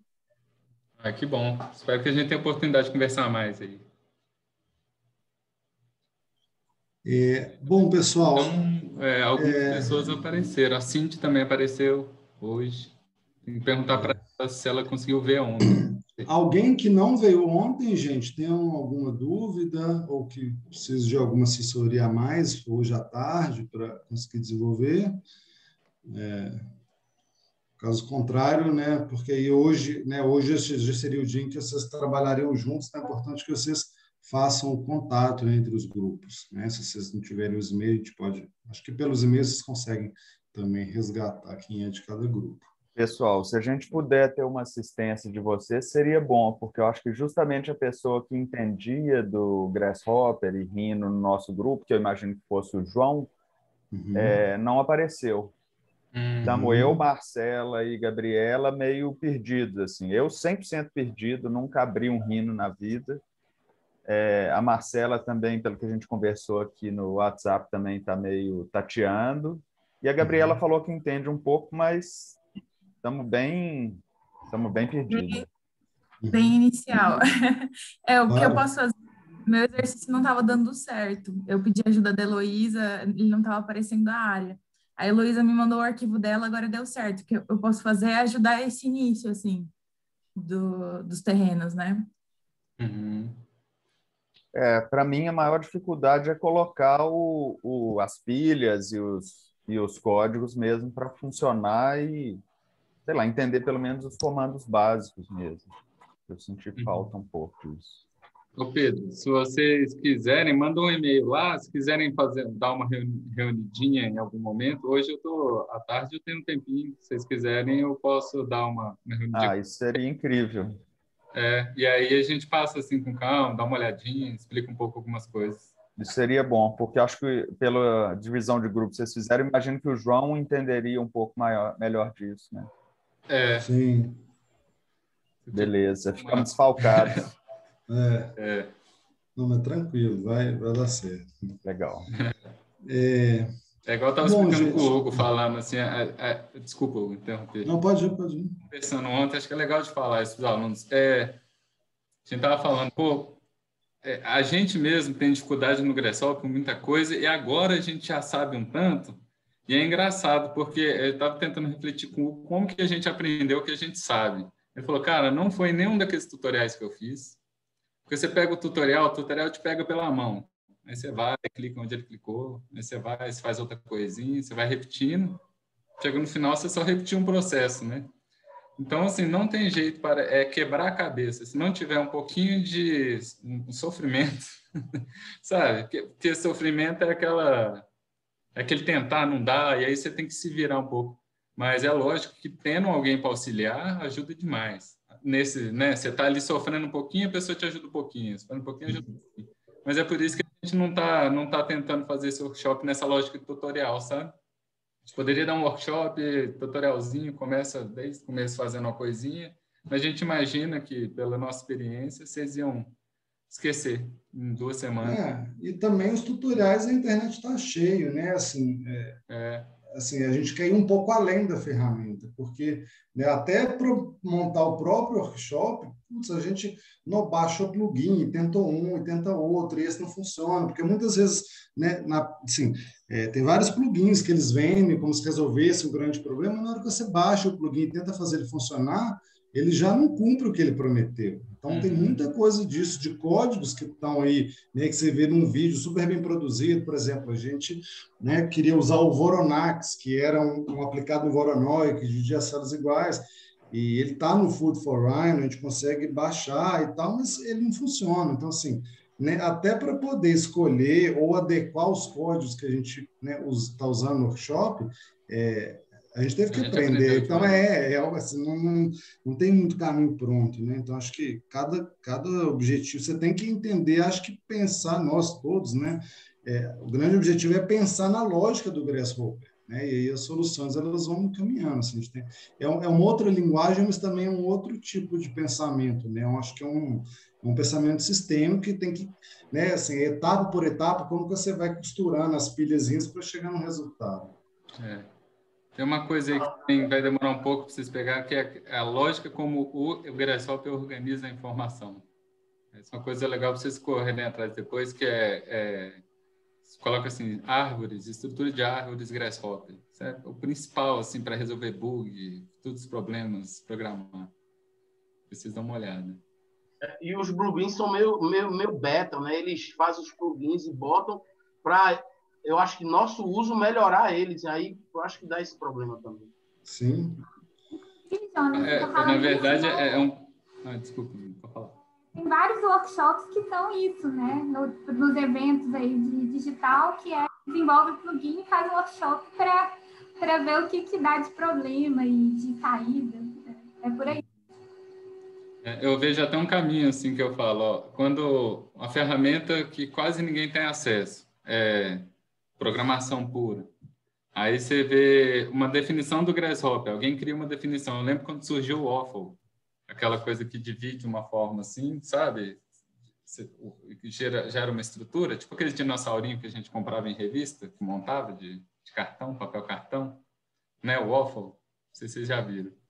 É bem comum. E aí, é, quando isso surgiu, era assim, tinha uma definição do Grasshopper que uma pessoa fez e conseguia acessar na internet. Aí, você tinha que saber mexer um pouco no Grasshopper. Depois disso, virou um plugin do Grasshopper, que você baixava e já vinha a pilha pronta.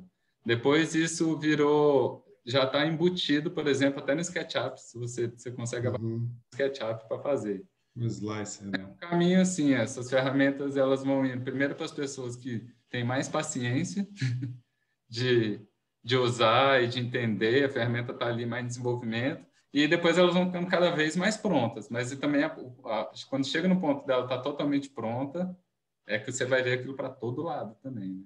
Então, assim, principalmente as ferramentas formais, elas têm essa característica. Bom, gente, é, alguma dúvida, então, com relação à entrega de amanhã? Acho que se tiver tudo ok, a gente pode abrir para ir repassando os códigos. A gente ainda tem um tempinho aí para tentar ir solucionando algumas dúvidas na entrega de hoje. Uhum. O que, que você acha, Marcos? Você Ô, falou que tinha uma dúvida. Diga. É, então a entrega a de amanhã é até meia-noite de manhã, certo? E a última entrega seria quinta-feira até meia-noite, isso? Uhum, Isso. Ah, tá, beleza. Aí sexta-feira rola o fechamento, né, com a apresentação. Isso. É, gente- E essas entregas, gente, é importante que seja feita até esse tempo, porque é o seguinte: vocês negociaram cada vizinhança, chegaram num desenho de lotes e de arruamento. Para chegar no outro dia e vocês, a gente fazer a interseção entre elas para vocês negociarem, a gente precisa estar com esse desenho. Então, vocês vão, a gente vai pegar esses desenhos nesse tempo pouco aí da madrugada, juntar e, e entregar de novo para vocês, para vocês fazerem a próxima etapa. É, porque basicamente a gente tem que chegar nessa questão aqui, ó. Você tem que né? entregar isso aí para vocês. Isso. É, a gente tem que entregar isso. assim, Vocês têm que entregar para a gente, a gente junta e entrega isso para vocês, para né, vocês poderem fazer negociações entre vizinhanças. É. Bom, gente, alguém quer ver alguma coisa, compartilhar a tela, resolver algum problema de código, das áreas, das fichas? Raul, deu tudo certo seu, o Verli também. Deu certinho. Eu também era tudo certo. Só uma dúvida. É, Para colocar a imagem no, na entrega, é só tirar um print do pelo Rhinoceros mesmo e colocar a imagem do resultado visual? É, pode ser. É, se quiser dar uma tratadinha nisso para deixar mais, mais bonitinho também, eu tops, pode, né? Talvez, não sei se, se vai ficar. É, eu acho que pode dar uma tratadinha, assim, senão às vezes vai ficar meio feinho. Por exemplo, igual eu vi que o seu tem um fundo branco, já fica melhor, né? Se a prancha tiver o fundo branco, pelo menos o desenho vai encaixar mais no fundo, não vai ficar aquele quadradão assim recortado. Cada um usar aí os seus, assim, seus, seus próprios critérios aí estéticos.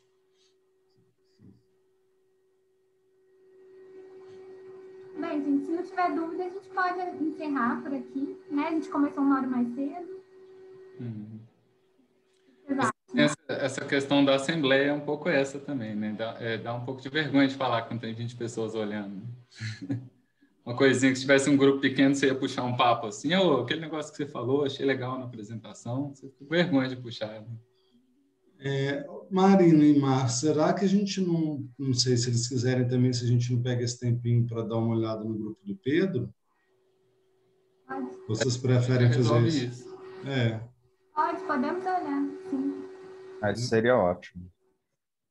Bom, gente, é, então, quem não tiver nenhum problema, nem nada a resolver e já quiser, né, ir, ir saindo para, sei lá, almoçar e depois ter mais tempo para mexer, ou quem quiser também, para ver se é um problema parecido, tá? Fiquem à vontade. É, quem, quem, quem for sair, obrigado pela presença. Né? Amanhã seguimos. Ô, ô, gente, eu e a Suzane do grupo 2, a gente está montando um grupo no WhatsApp. Eu acho que a Suzane já mandou mensagem para os outros. Se vocês puderem responder e entrar, para a gente organizar aí.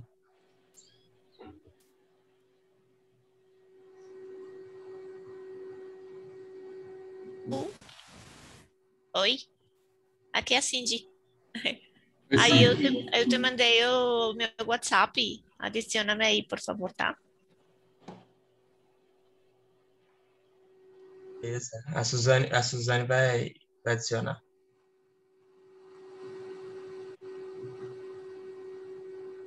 É, eu não recebi nenhuma mensagem, não. Vocês mandaram aonde?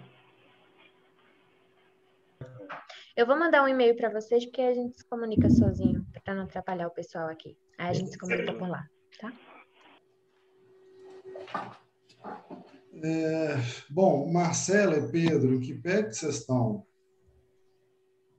E quem mais que é o grupo? Desculpa. É, a Gabriela.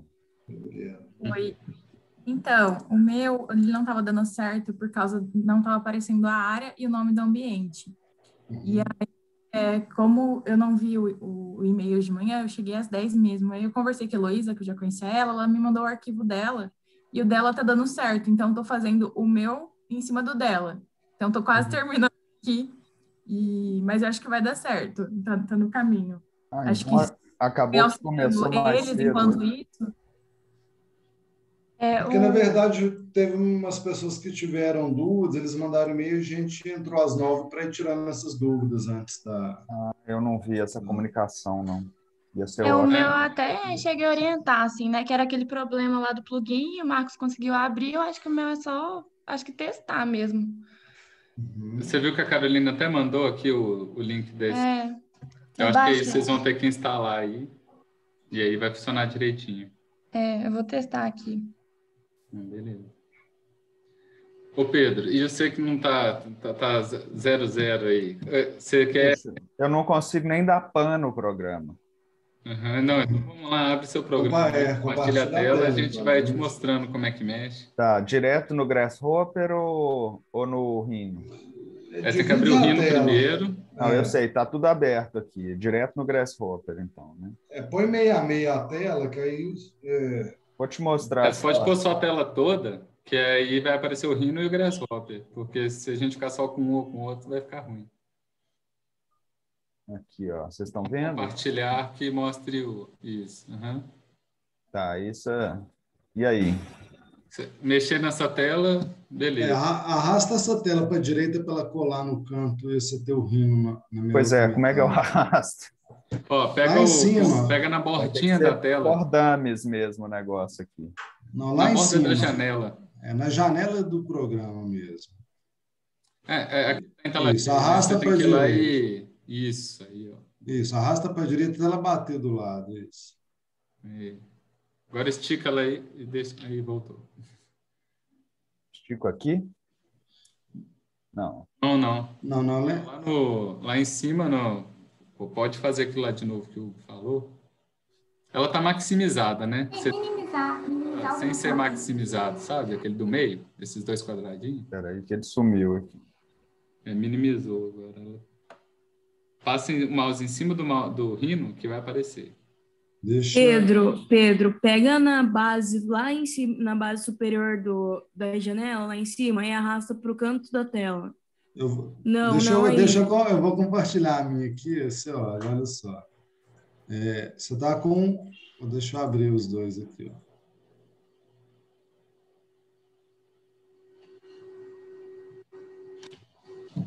Olha só, você está com os dois aqui, né? Se você arrastar aqui, ó, pega aqui em cima, ó, e arrasta para o lado, ela cola na direita, né? Aí você faz a mesma coisa com o rino. Aham. Entendeu? Para você, pra você conseguir manipular o código aqui E ver o resultado lá. e ver o resultado aqui no rino, isso. Tá, entendi. Bom, vamos lá. Compartilha de novo, por favor. E que o Rino tá querendo entrar na tela cheia de todo jeito.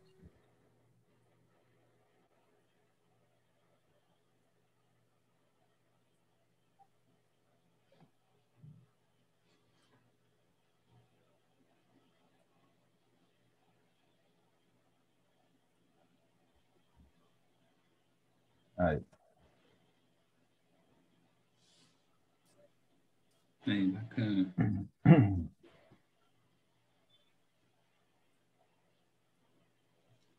Então, aí, Pedro, funciona assim. ó. Essa programação aí é, é aquela que gera as bolinhas, né? Aham. Então, beleza. Ah, você quer saber como dá pan nesse outro, né? Como que navega. Por exemplo, como é que eu sumo com esse espaço cinza aqui, por exemplo? Ah, esse não dá Estou pra... falando que a instrução é Mobral mesmo. Assim.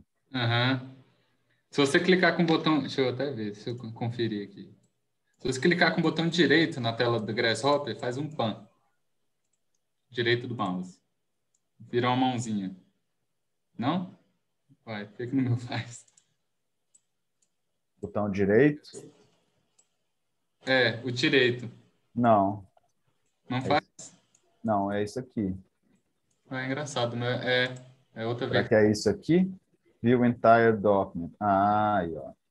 Aí, pronto, bacana também. Mas aquilo é uma questão de zoom mesmo, é porque tem uma pranchinha aí no Grasshopper e tem essa bordinha preta.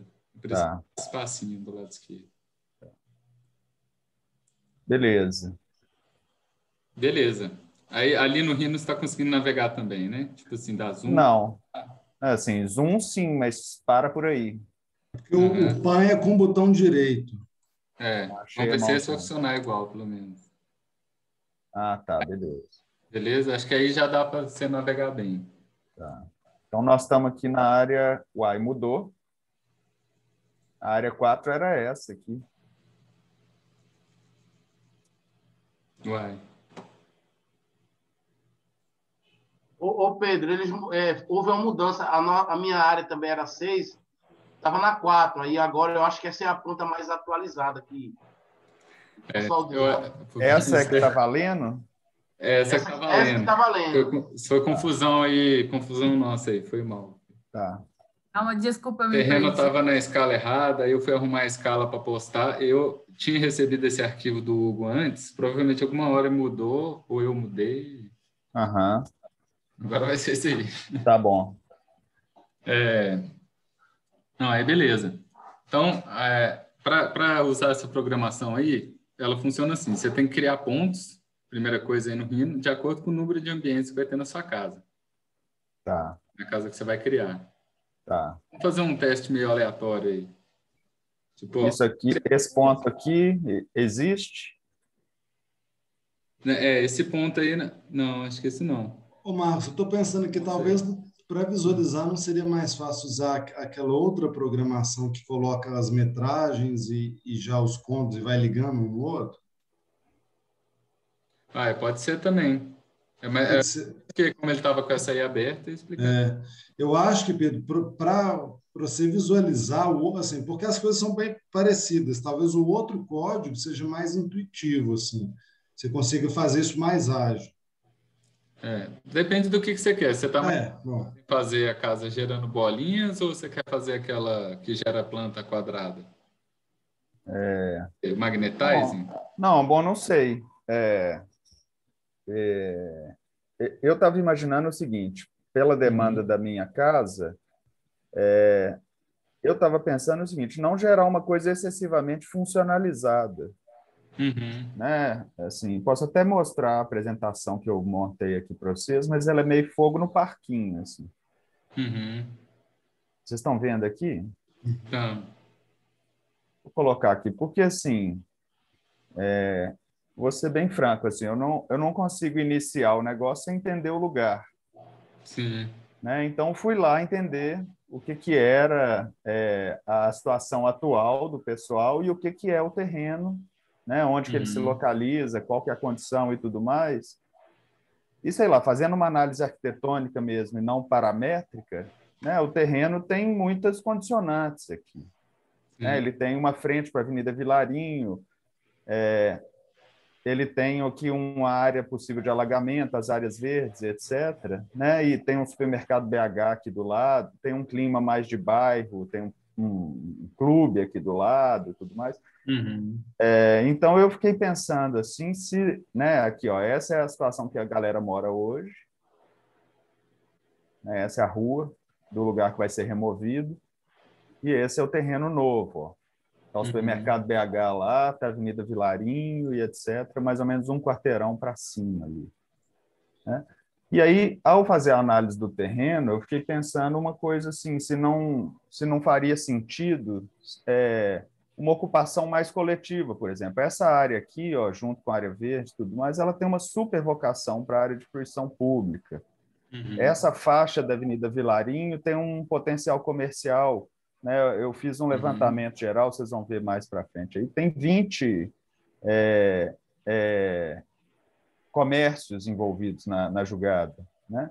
Uhum. É, tem aqui já um clima de bairro, uma possibilidade de uma travessia coletiva ou pública, Uhum. é, uma barreira de muros dos vizinhos que existem aqui, etc.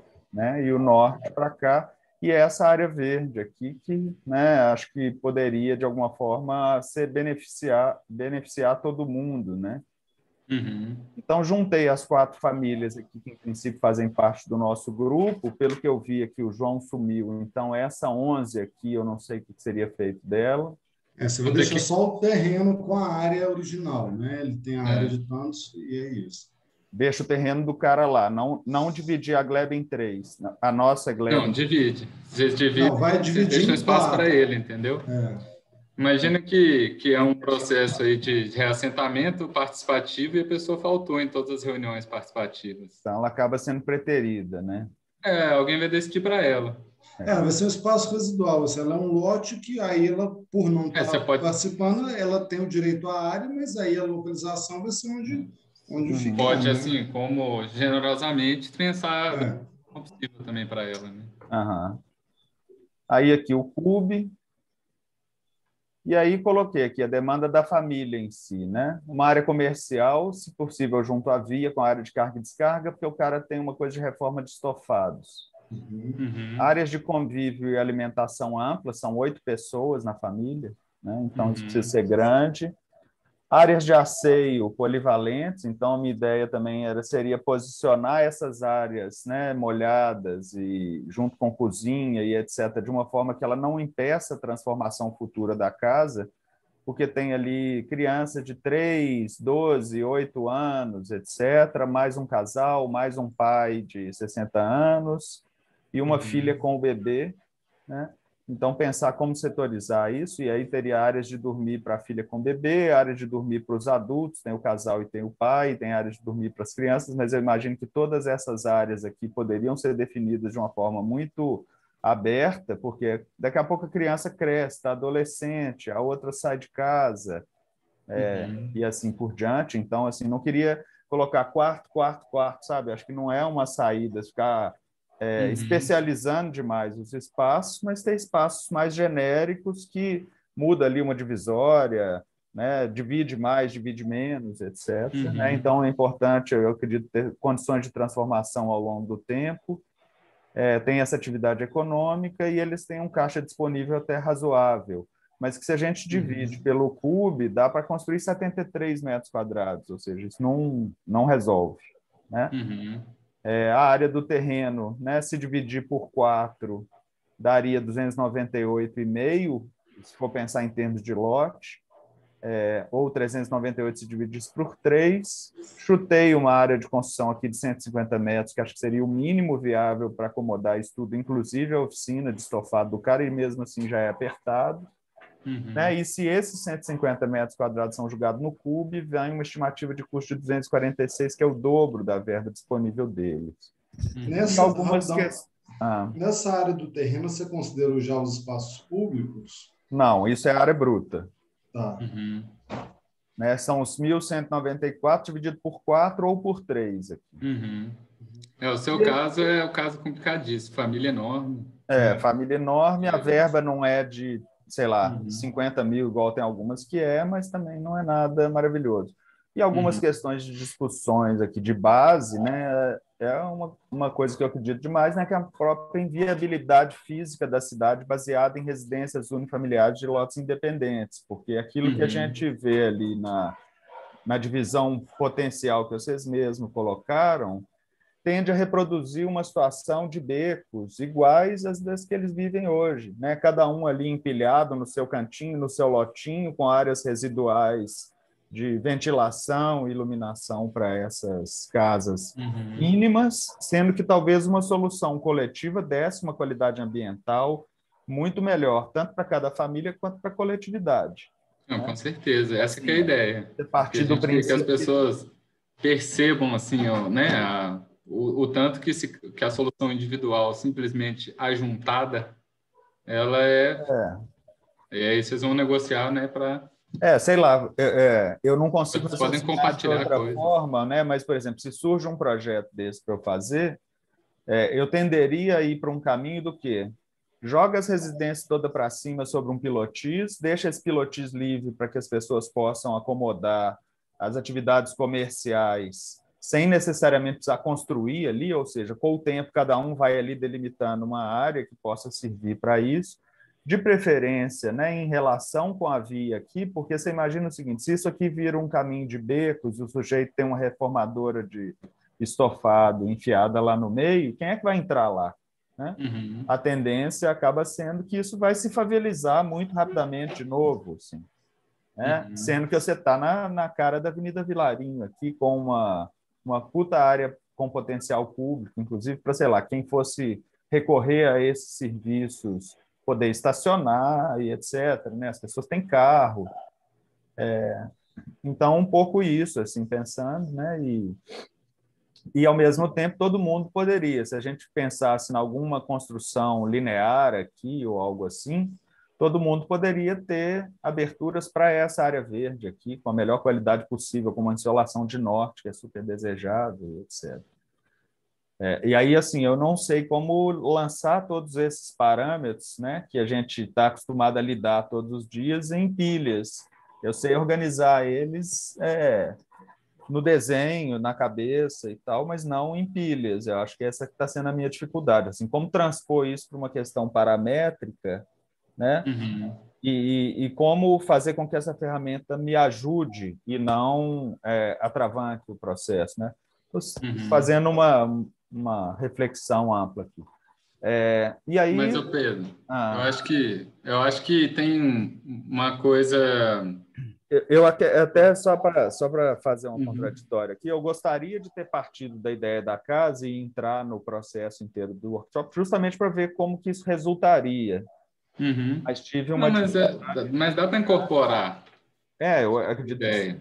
É. É porque é o seguinte, por exemplo, se, é, alguma coisa, você não quer, por exemplo, fazer uma definição funcional dos espaços, mas tem que pensar, porque para a gente entrar numa lógica de parâmetros, a gente tem que pensar assim, o que é que eu quero definir?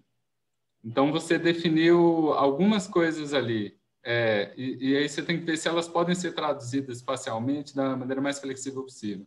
Uhum. Como você vai chegar num grupo para negociar? O que, que você consegue chegar com, com nesse grupo para negociar em questão de espaço? Então, assim, uma coisa que você... Uhum. Uma, é, texto. Aquele texto ali já é uma...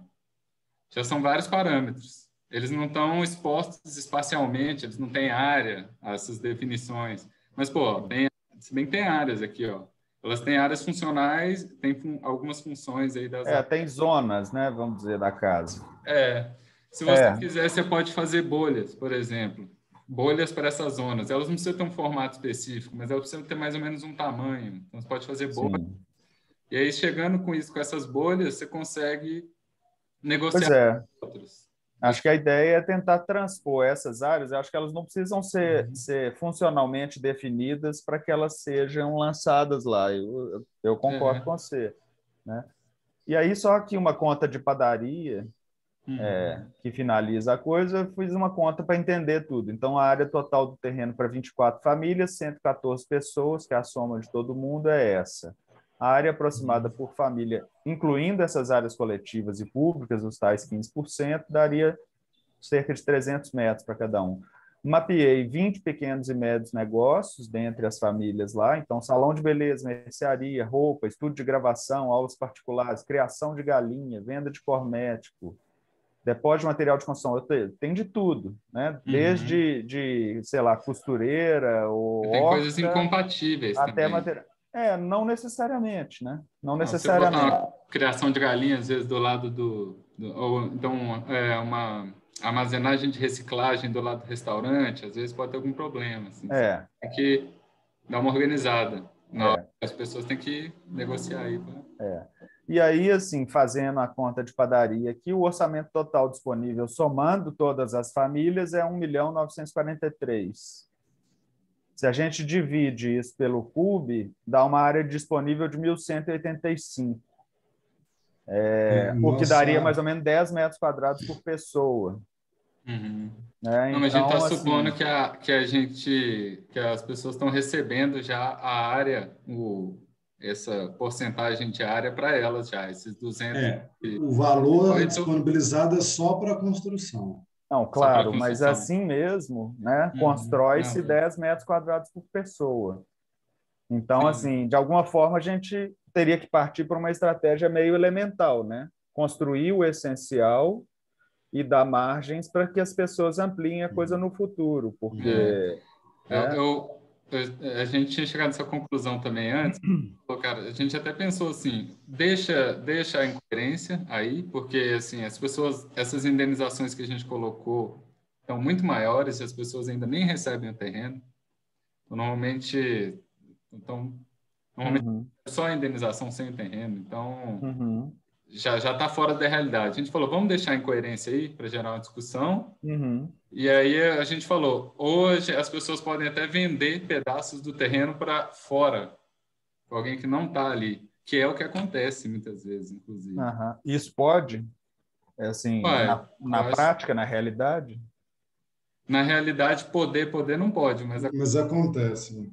Né? Aham. é, você tem normalmente dois anos que você... Aqui em BH não, não se trabalha, né, quase com isso. Estou falando de outras regiões. Sim. E você tem aí dois anos onde você não pode, ele fica alienado, você não pode vender, mas depois a pessoa que pode vender, as pessoas passam a resolver os problemas econômicos delas com a área que ela recebeu. Sim. Né? Não, beleza. Mas então, é, voltando à vaga fria, né? Como, como espacializar, então, essas demandas aqui, ó? Vamos supor, né? Uhum. Nós temos essas áreas aqui para lançar aqui, ó. Uhum. Então, aí pode ter, é, uma ideia é criar os discos com, com as áreas mais ou menos de cada uma, só para fazer um estudo inicial, Vocês tinham falado que era melhor, talvez, eu abrir outro código. aqui. É, abre o código que é de. De ah, bolhas, não? De bolhas. Porque eu acho. de bolhas é uma boa. É.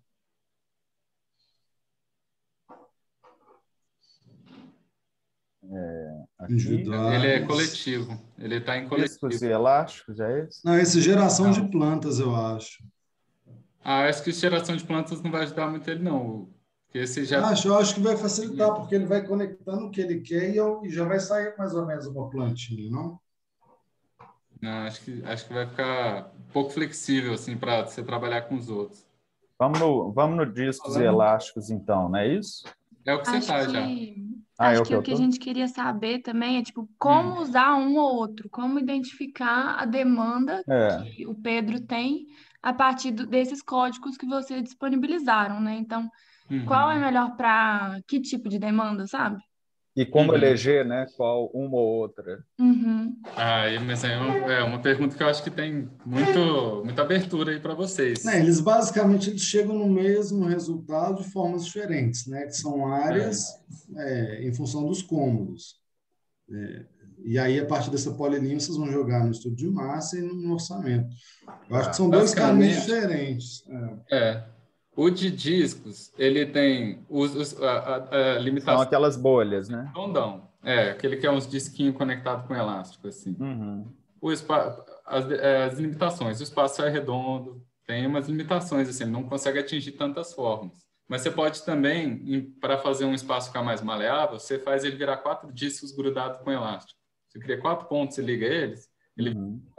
vira quatro bolinhas grudadas. Aquilo não precisa ser quatro espaços, aquilo é um espaço só. É, o que eu estou te Você mostrando. pode criar um monte de bolinha grudada assim, ó, todas elas ligadas, e fazer uma, uma malha de bolinhas assim. Sim. E aí você usa aquilo. Qual que é a ideia disso? É você poder representar uma área sem representar a forma. A forma livre. E aí você consegue, pelo menos assim, pô, vamos ver assim, põe sua área aí que você vai precisar, põe a minha, põe a sua, põe a dela. Vamos ver como é que a gente tá. Tipo, onde que dá para arrastar mais ou menos, fazer um zoneamento inicial. Então a ideia dessas é um pouco para isso.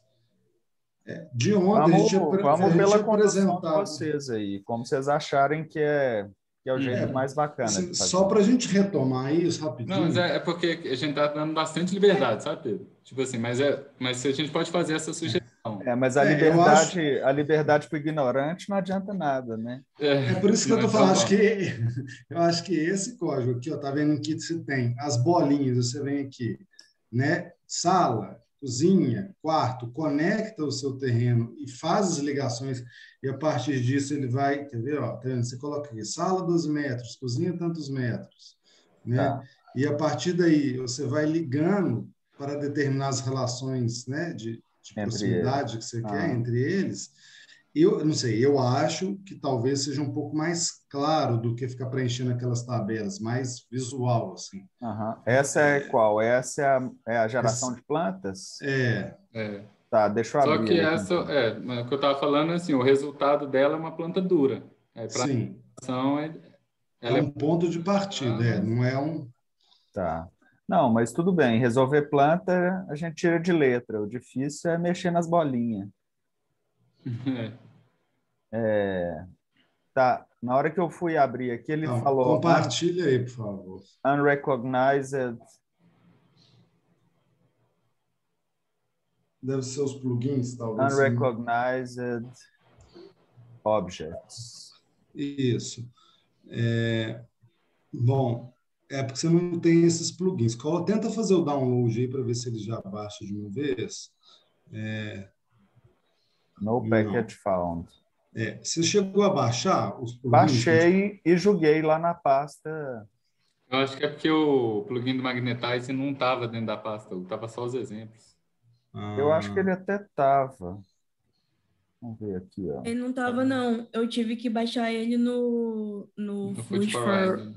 É, os outros eu não é fiquei na esse? dúvida. Não, isso não é... Isso não é, isso Não, não é são os O arquivos, o- é o. GH. Ele teria que Ele é É, ser. verdinho. Tá. Deixa eu perguntar para vocês. É, Vou, vou o- por agora. Mano. Os outros dois plugins fora o o Magnetizing, eles, eles servem para quê exatamente? Porque eu não sei se eu se eu consigo fazer esses, esses três exercícios sem eles. Quais plugins? Aquele Wombat? Aquele que o pessoal postou aqui hoje? Não, esses eu ainda vou, vou baixar, mas o, os outros dois, os dois, os dois primeiros lá, é, deixa eu ver, o é Decoding Spaces e o outro é... Ah, o outro era o, era o Python. Ah, tá. Eles são, é, são dois plugins. O, o- esse Python serve para quando a pessoa faz uma pilhazinha dessa programada em Python, que é uma programação escrita. E aí, como é, acho que é o shortest walk, que é uma definição que a Marina compartilhou, ele usa uma pilhazinha feita usando esse plugin, aí ele precisa, tem que baixar ele para ele funcionar. Tá, mas para esses, esses três exemplos que vocês deram na, que vocês deixaram na pasta é, para a gente pegar ontem, para fazer esses- esse, essa entrega, Uhum. é, eles só precisavam do magnetizing, certo? Ou precisava do decode space também? Eu acho que não. Eu não sei é, onde que é que o... A Marina saiu, né? Ou ela tá aí? Tá aí, Marina? A Marina, acho que ela está passando mal. Ela falou que tomou um remédio. Ah, tá. É, porque po- dos que eu fiz, não. Esse Decoding Space, não. Não sei se é algum que ela... É, eu acho que, assim, é, é, já instalam, vocês já podem instalar tudo, porque uma hora ou outra a gente vai acabar precisando deles. Então, assim, baixa os plugins, joga tudo dentro do, do Special Folders lá. É, e, bom, acho Eu que... posso compartilhar a tela aqui rapidinho para eu, pra eu ver isso aí? Acho que são as du- algumas dúvidas parecidas com as do Pedro também. Tá, pode Claro. Pode.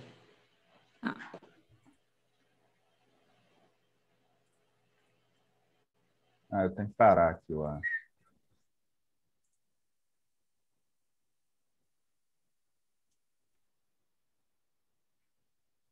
Enquanto ela abre, isso aqui que eu estava mexendo, por exemplo, que é o estudo de massa. É, É, ele, mas esse- ah, ele, ele, de alguma forma, já vinculou com o lote 2 aqui, com a gleba 2. É, aí você vai ter Ah, que tá. desvincular. Isso, você pode trocar. Onde é que eu troco? Com- Compartilha aí para a gente mostrar. Deixa, deixa ela compartilhar aí, senão eu vou atravessar a colega aí. Não, não, ô Pedro, mostra aí, mostra aí. o- É rapidinho o seu, Pedro. Tá, É. vamos lá então. Só, é só clicar ali na curvinha e trocar. Aqui, ó, eu estou tentando desfazer o que eu fiz aqui, ó, porque eu fui mudando uns parâmetros. Clica com o botão direito no, no CRV ali, ó. Isso. Ah, Aí coloca lá, set on curve. Isso. Aí você vai clicar na curva do seu terreno, lá no rimo, É, na... na borda.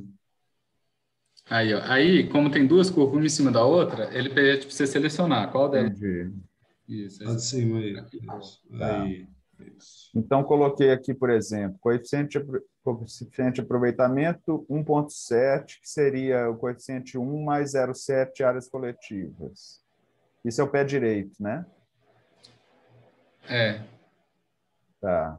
Um. Eu acho que não altera em nada, só altera o 3Dzinho que gera. Tá, É. vamos lá, 3 metros para ser generoso aqui. Taxa de ocupação, vamos aumentar um pouco, porque o trem está apertado. 60, tá bom. E aí? Agora você vai precisar de uma curva que foi gerada ou nos discos elásticos ou nas bolhas para conectar. Tá vendo o CRV ali, ó? Você tem Aham. que jogar, né? Não, peraí, não, não, não. Tô, tô falando bobagem. Não, é, é que o que o tá falando é que se você quiser usar isso para ser só do seu lote, É, eu estou no terreno inteiro aqui. é, mas é só como exemplo, pode ser. Se você quiser ver isso em 3D, você pode ir ali onde está escrito superior, do lado esquerdo, lá, ó. Lá no, É ou no rino? No, no ali, ó. Do lado Cantinho. esquerdo, no final da tela onde você visualiza. Aí, Isso, na tela cinza, na tela de desenho, do- no cantinho Isso. lá de cima. Superior, perspectiva.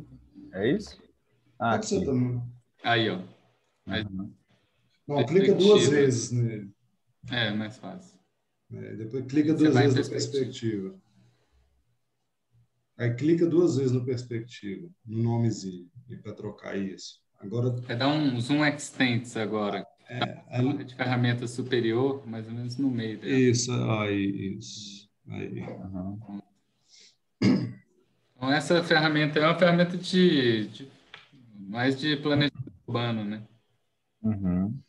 Que aí você visualiza a partir da, da, legislação, os afastamentos, essas coisas estão dentro dessa pilha aí. Você vai encontrar umas tabelas que onde, onde, você, onde fala quais são os afastamentos.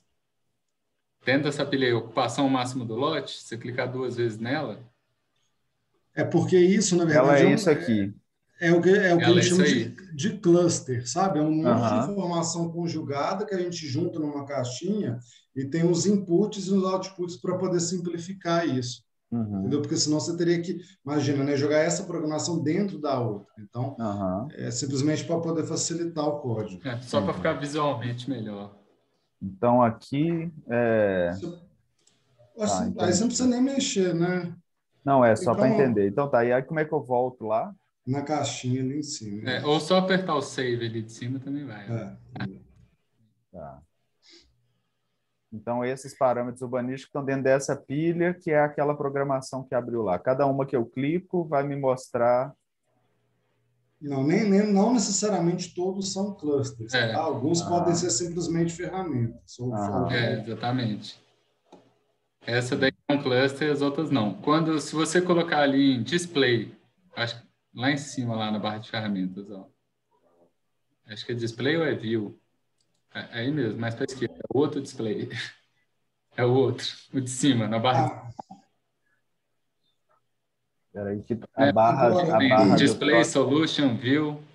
Não sei, talvez o seu negócio de compartilhar isso. É, não, é porque o negócio de compartilhar estava na frente. Aí Tá. ó, tem Draw Icons, tá vendo? A primeira linha de cima. ó. Tu- aí é os íconezinhos de cada, de, cada. É outro jeito de ver a programação. Quando tem essa caixinha, é porque é a gente que fez o cluster. Tá vendo a caixinha marrom? Aham. É, e tem como você colocar, né, se você for no display, colocar ou ícone, ou nome completo, ou simplesmente o nome abreviado de cada comando. aham. Eu vou colocar aqui no chat, gente, um negócio que, que eu acho muito bom. Ele é um pluginzinho bobo, mas que ajuda a gente a organizar. É o Bifocals. Ele serve sempre todo, porque ele vai dando nome para todos os comandos, tá? Então, depois quem quiser instalar ele, rapidinho, só baixar é, e jogar lá dentro. Eu, eu acho muito bom para assim, né, para organizar, para entender o que está acontecendo no código. Uhum. E aí você tem três custos aí e um deles está sendo multiplicado ali pela área para gerar. É, mas eu acho que ainda não resolveu o problema, né, Pedro? Porque tem a questão da, da, da primeira tarefa, né? Sim. Não, mas pelo menos eu estou entendendo a lógica do, do negócio aqui. Sim. E aí, na primeira tarefa, é mais ou menos isso: é selecionar as curvinhas, fazer os pontos, seguir aquele, aquele vídeo. Só que ele. Mas é. Igual assim, se você quiser focar no paramétrico e usar o trem, mas se você quiser fazer de outra maneira e aí a ferramenta não estiver te alcançando, você pode fazer com as ferramentas que você tem. O, uma coisa que eu ia falar também, Pedro, que igual você propôs várias coisas, é, umas, umas ideias interessantes ali para o coletivo, é, compartilhamento de áreas, coisas interessantes. E, é, e, e você pode propor isso dentro do seu grupo e quando trocar de grupo também, negociar isso com outro grupo também. Então, assim, tentar fazer a ideia pegar, porque a questão que a gente está partindo é de um princípio onde você vai esquecer que você é um arquiteto, que você pode chegar e falar para todo mundo assim, por que, que a gente não faz assim? E você vai virar mais um na multidão, entendeu? Uhum. Aí você tem que fazer essa ideia pegar. Sacou? Essa é a ideia, assim, você- é porque é um negócio paralelo. As outras pessoas.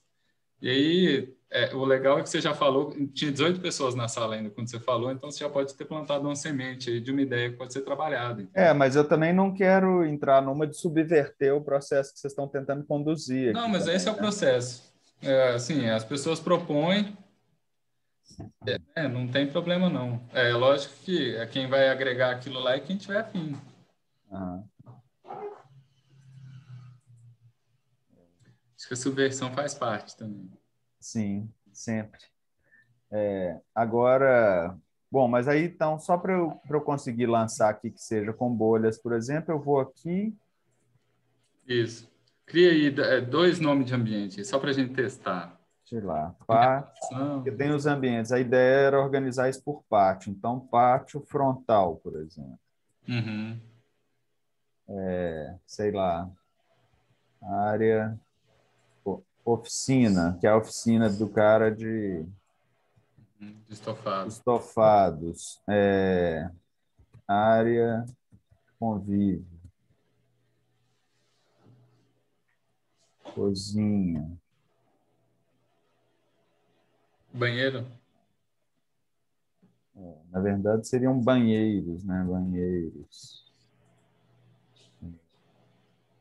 Mas você quer concentrar eles todos em uma área só, os banheiros? Ou você quer fazer eles picadinhos? Assim? Porque aí você pode fazer banheiro banheiro dois. Não, a minha ideia era, tipo assim, organizar um bloco de apoio com cozinha, banheiro e tudo mais, de forma que é, essa hidráulica não virasse uma barreira para a transformação dos outros espaços. Os outros Entendi. espaços ficam ali como espaços genéricos. Pode ser oficina hoje, amanhã vira sala do cara, ou que seja. Assim.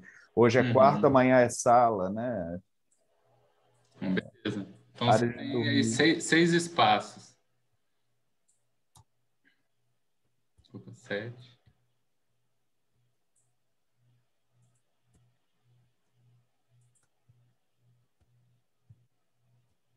Tá, vamos supor que seja isso. Beleza. Clica fora aí. Dá uma esticadinha nessa tabela para aparecer tudo aí que está escrito. Tá. Então são oito espaços, do zero ao sete, né? Que são oito. Beleza? Beleza. Você vai ter que criar oito pontos para representar fora do terreno, aí, ó, lá no rino, para dar origem a esses espaços. Em qualquer lugar aqui. É, nessa área inundável aí. Aham. Vai lá. Tá. Aí vai usar a ferramenta ponto, que está lá nessa barra de ferramentas do lado esquerdo da tela. Essa. Você clicar com, com, nessa flechinha pequenininha que tem na direita, embaixo dela, tá vendo uma abinha, uma mini flechinha que tem embaixo do botão? Aí. Ah. Tem, essa, tem um monte de pontinho. Clica ah. nessa monte. Múltiplos pontos. É, porque aí você não tem que ficar indo lá de novo. Você pode simplesmente clicar aí sete vezes com uma distância, dá uma distância entre.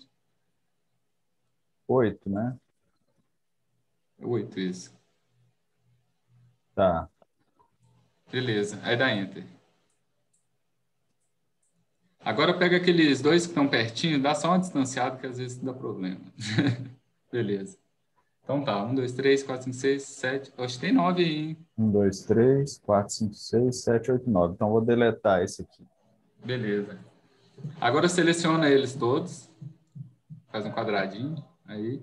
Aí você vem no, no ponto aqui, ó. Na, vem nessa pilinha que tem um xizinho no Grasshopper, em cima, ela serve para representar pontos do rino.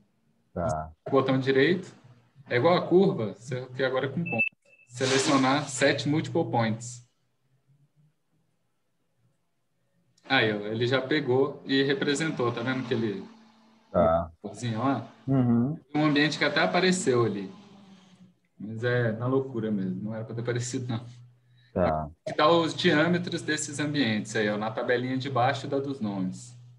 Na mesma sequência. Tem que ser na mesma sequência. Diâmetro, tá. É, um prêmio artesanal, assim, né? Tipo, não é uma interface maravilhosa de entrada de dados. Tá. Pessoal, se vocês precisarem sair, ó, nós já passamos do horário aqui, vocês fiquem à vontade, tá? A gente pode, a gente pode quebrar a cabeça aqui depois.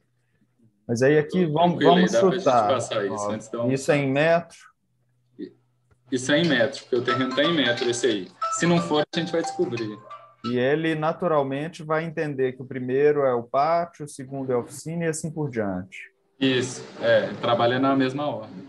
Diâmetro, então tá 5, 6, 6, três, é, dois e meio, quatro, quatro, quatro, vamos supor. Uhum. É, beleza, olha, criou lá, tá vendo? Uhum. Agora você tem que criar uma linha aí no Rhino, ligando essas, os, os pontos centrais dessas bolinhas, aonde você quiser que eles, que eles mantenham essa adjacência, né? Aham. Por exemplo, a área de convívio com a cozinha.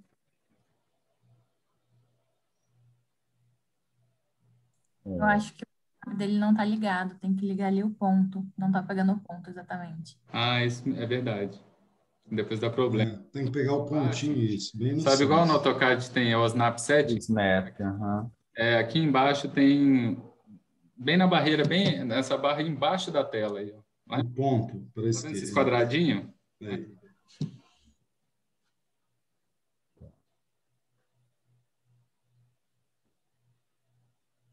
Vamos supor que eu não quero continuar essa linha aqui. Aí você dá Enter.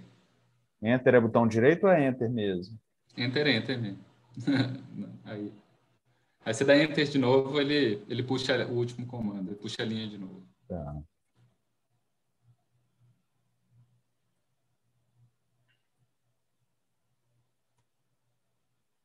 Eu posso mover esse troço aqui? Pode. Opa. Eu tenho que pegar no ponto, né? Pro... Uai. Aí. Tá. Ah, Você tem que dar um reset ali embaixo para pro, pro, pro sinal. Tá, fez uma coisa muito doida aqui. É, porque como ela tá rodando a programação, aí ela já fica confusa. Aí você vai ali embaixo. Não, não é aí não, reset. É. Ó. Vai aqui no, no Grasshopper. Aí você vai ter que descer a tela, mais para baixo. Não, dentro dele mesmo. Até um botãozinho ali, ó, escrito reset, tá vendo? Um botãozinho preto. Você clica nele. Aí pronto. Então, por exemplo, vamos supor que eu quero levar isso aqui para outro lugar. É porque isso aí vai ser levado depois para outro lugar. Quando você, de acordo com as linhas que você está criando, como elas são elásticos, as coisas vão se grudar e vão se organizar. Entendi. Então, se você não tiver, se conseguir, tipo, ignorar o, o- certo toque que dá inicial de estar ligando os trem tudo torto, Uhum. você organiza. Senão você organiza os pontos todos antes. Vou colocar aqui uma.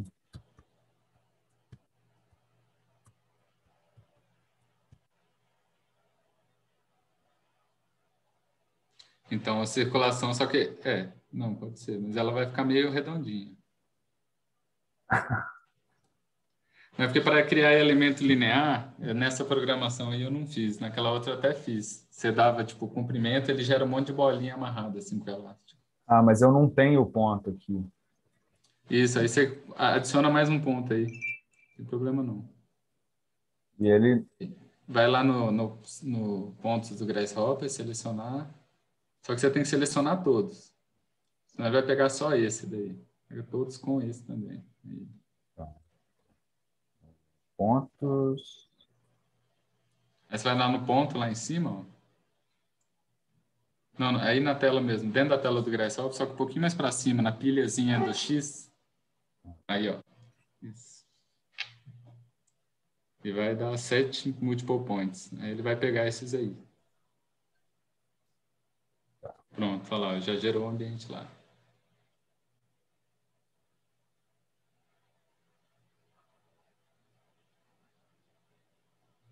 Opa.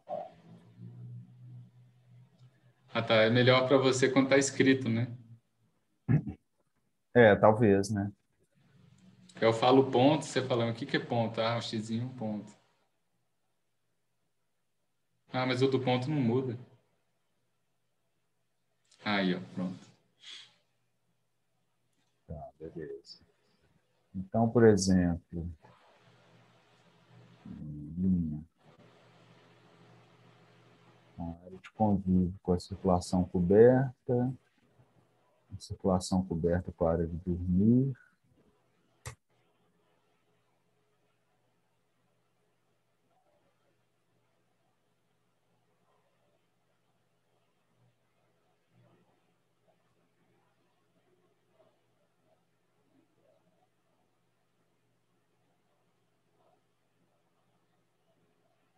Aqui parece que tem duas coisas sobrepostas, é isso mesmo? É. Não, mas é. Não, é pau mesmo, eu acho. Ah, aqui, ó. Tem um, um ambiente. Não, não, não. Mas é, não tira esse ponto aí, não. Pode, pode voltar ele para lá onde estava. Eita. É, não tem como botar ele no lugar. Tem que dar Ctrl Z. Clica aí na tela do Rhino e dá Ctrl Z. Tem essa questão, viu, Pedro? Quando você, dá, você clica numa tela e dá Ctrl Z, ele É. foi feito no Rhino. Se você der Ctrl Z na tela do Grasshopper, ele volta que foi feito no Grasshopper. Não, tá beleza. Ignora essa- esses pontos fantasma aí. Isso, é. Como é que eu fecho isso aqui, você sabe? Ah, tem um botãozinho de X aí em algum lugar. Do lado da direita. Isso. Aí É Tá não. atrás do Grasshopper o Xzinho. Aumenta, aumenta, maximiza a tela. Do... Bom, é, pode ser. Ah, deixa ele aí atrás mesmo. Depois você vai achar o Xzinho. Tá. Aí falta só conectar a oficina. Oficina com o pátio frontal. Agora, o que aconteceu com a- com o que estava aqui nesse ponto? O quê? Sei, ó, né? Sumiu, mas vamos ver. Tá vendo? O disquinho que estava nesse ponto aqui que está ligando. É, vamos ver se vai dar certo. Já está tudo conectado, pelo menos. Aperta o reset aí, só para a gente ver. Só juntar aqui o banheiro com a circulação. Cadê a circulação? Vai, dançou a circulação.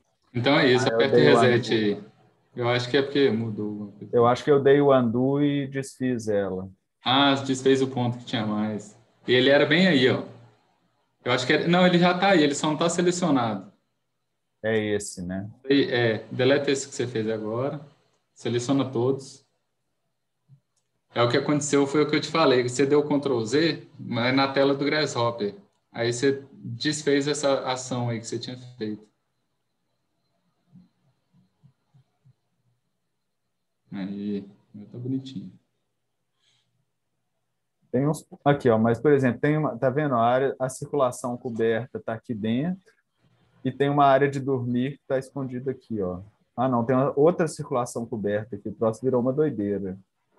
É, tem que dar o reset lá, porque Tá. muda uma coisa aí, ele, ele dá um pau. Aí você tem que Tá, dar... mas tudo bem. Vamos supor que fosse isso. Pelo Aham. menos eu tô entendendo a lógica. E aí agora?